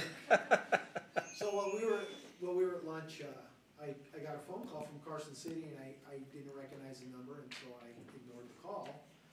Um, about ten minutes later, my phone rang again, and this time I answered it. And, uh, you know, I just answered it like I normally do, hi, this is Lotus Keith, and, uh, the person on the other, other end said, uh, hi Keith, this is, uh, Steve Sisolak. And I said, seriously? And he said, yeah, seriously. The first thing that comes to my mind is, he's gonna get on my back for getting on Facebook and bashing him, you know? And then, and then I says, uh, I just wanna let you know that, uh, Lander County in about two weeks is gonna receive one million dollars for our COVID nineteen. This has to do with the CARES Act, things that we have been working toward, um, for reimbursement. It's not anything to do with, and we don't have one, but he was made it real clear, it's not to, to fill a budget shortfall or a budget gap. This is for our COVID nineteen stuff. So, um, after a little bit of a conversation, um, uh, he's gonna send some, or his staff will send some paperwork. We'll look it over, we should get a check in about two weeks. Um, my thought is we put that in a special line item, and we, we use it what it's supposed to be used for. We can't use it for anything else. And, um, once I get more details, I'll let the commission know, and, um, the governor says hi. Thank you. So is this, Administration. so is this part of the eight hundred million that the state got? Yes. And NACO was working so hard on how it Yep. was gonna be divided? Yes. Thank you. So you said that it had specific things that it had to be utilized for, so is. No. Oh, I thought Yes, that's what. well, yeah. doesn't, does it? No, this does. It, it's, well, it cannot be used for, uh, budget gaps or budget shortfalls, which we don't have. Yeah. But he wanted to make that very clear, that it can't be used for that. So it's, it's COVID nineteen, of course, related, which we've spent, um, I, I don't, I'm get, if I remember correctly, and there's been a little more since then, we probably spent close to about eighty thousand. We're, we're not anywhere near that one million dollar mark, but we have spent some money, and that's been what I've been taking out of that emergency fund. When you get that, get that check, make an agenda item and we'll talk about how we wanna use it. I will do that. I mean, Also, I'd if be we're gonna have interested- More, if we're gonna have more uh, pandemics, you know, we- maybe we need to have a Um, pandemic. And, and item. until I, when I get the, the actual direction on how we can spend it, then, yeah, we can sit down and look at if we can buy additional supplies or whatever we need. Yeah, I'd be interested in all the stipulations that go with cashing the check, so once you get those, Well, yeah, maybe for forward sure. us a copy or Yep, something. okay. So, when, when would we have the, uh, meeting for the canvass of the votes? We'll have that, um, Sadie's not here. no, she's not. Sadie just asked for a special meeting, I believe it's seven more days from today, so it'll probably be next week, Thursday or Friday. And like I said, it, it's, it'll be a one-item agenda, just to canvass the vote, and, um, it could probably be a call-in, cause it's gonna be basically canvass of the vote. Uh, Shel, uh, Sadie will, will read the, um, the final numbers, once you approve it, that makes them official. And that'll be on the sixteenth or the seventeenth? I'm not, it's, a- I think it's seven days from now. is- Yeah, they, they can still take the, bu- the mail ballots. They had to be postmarked on Tuesday, but they give them seven days to get there. So she So- can't do it before Thursday. That that would be right? the seven days. That'd be- Seven days to get there and then they need to tabulate. I believe her Well, deadline yeah, is but the they won't be that long, that many. Okay, so, She it- has till the nineteenth. okay, so it'll be, um, we'll probably look, cause then by NRS, it has to be by nineteenth. So we'll have to do it on the nineteenth, which will be A Friday? next Friday. So next Friday, like I say, it'll be a short agenda, just Call to in at canvass. the ten. Pardon? call in at ten. Yeah. We can do that. If you'd like it at ten, we'll make the call in at ten. and we'll just do the go-to and Sure. quick meeting, that's it. Okay. All right, so for public comment for non-agenda items only, persons are invited to submit comments in writing and or attend to make comments on non-agenda items, um, at the, uh, at the board meeting, if any. Discussion of these comments at the discretion of the board. All public comments may be limited to three minutes per person, again, at the discretion of the board. Reasonable restrictions may be placed on public comment based upon time, place, and manner, but public comment based upon viewpoint may not be restricted. Do we have any public comment? Motion to adjourn. Second. All right, all in favor? Aye. Aye.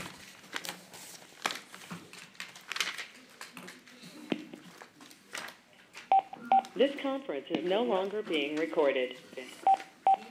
Muted. Yes.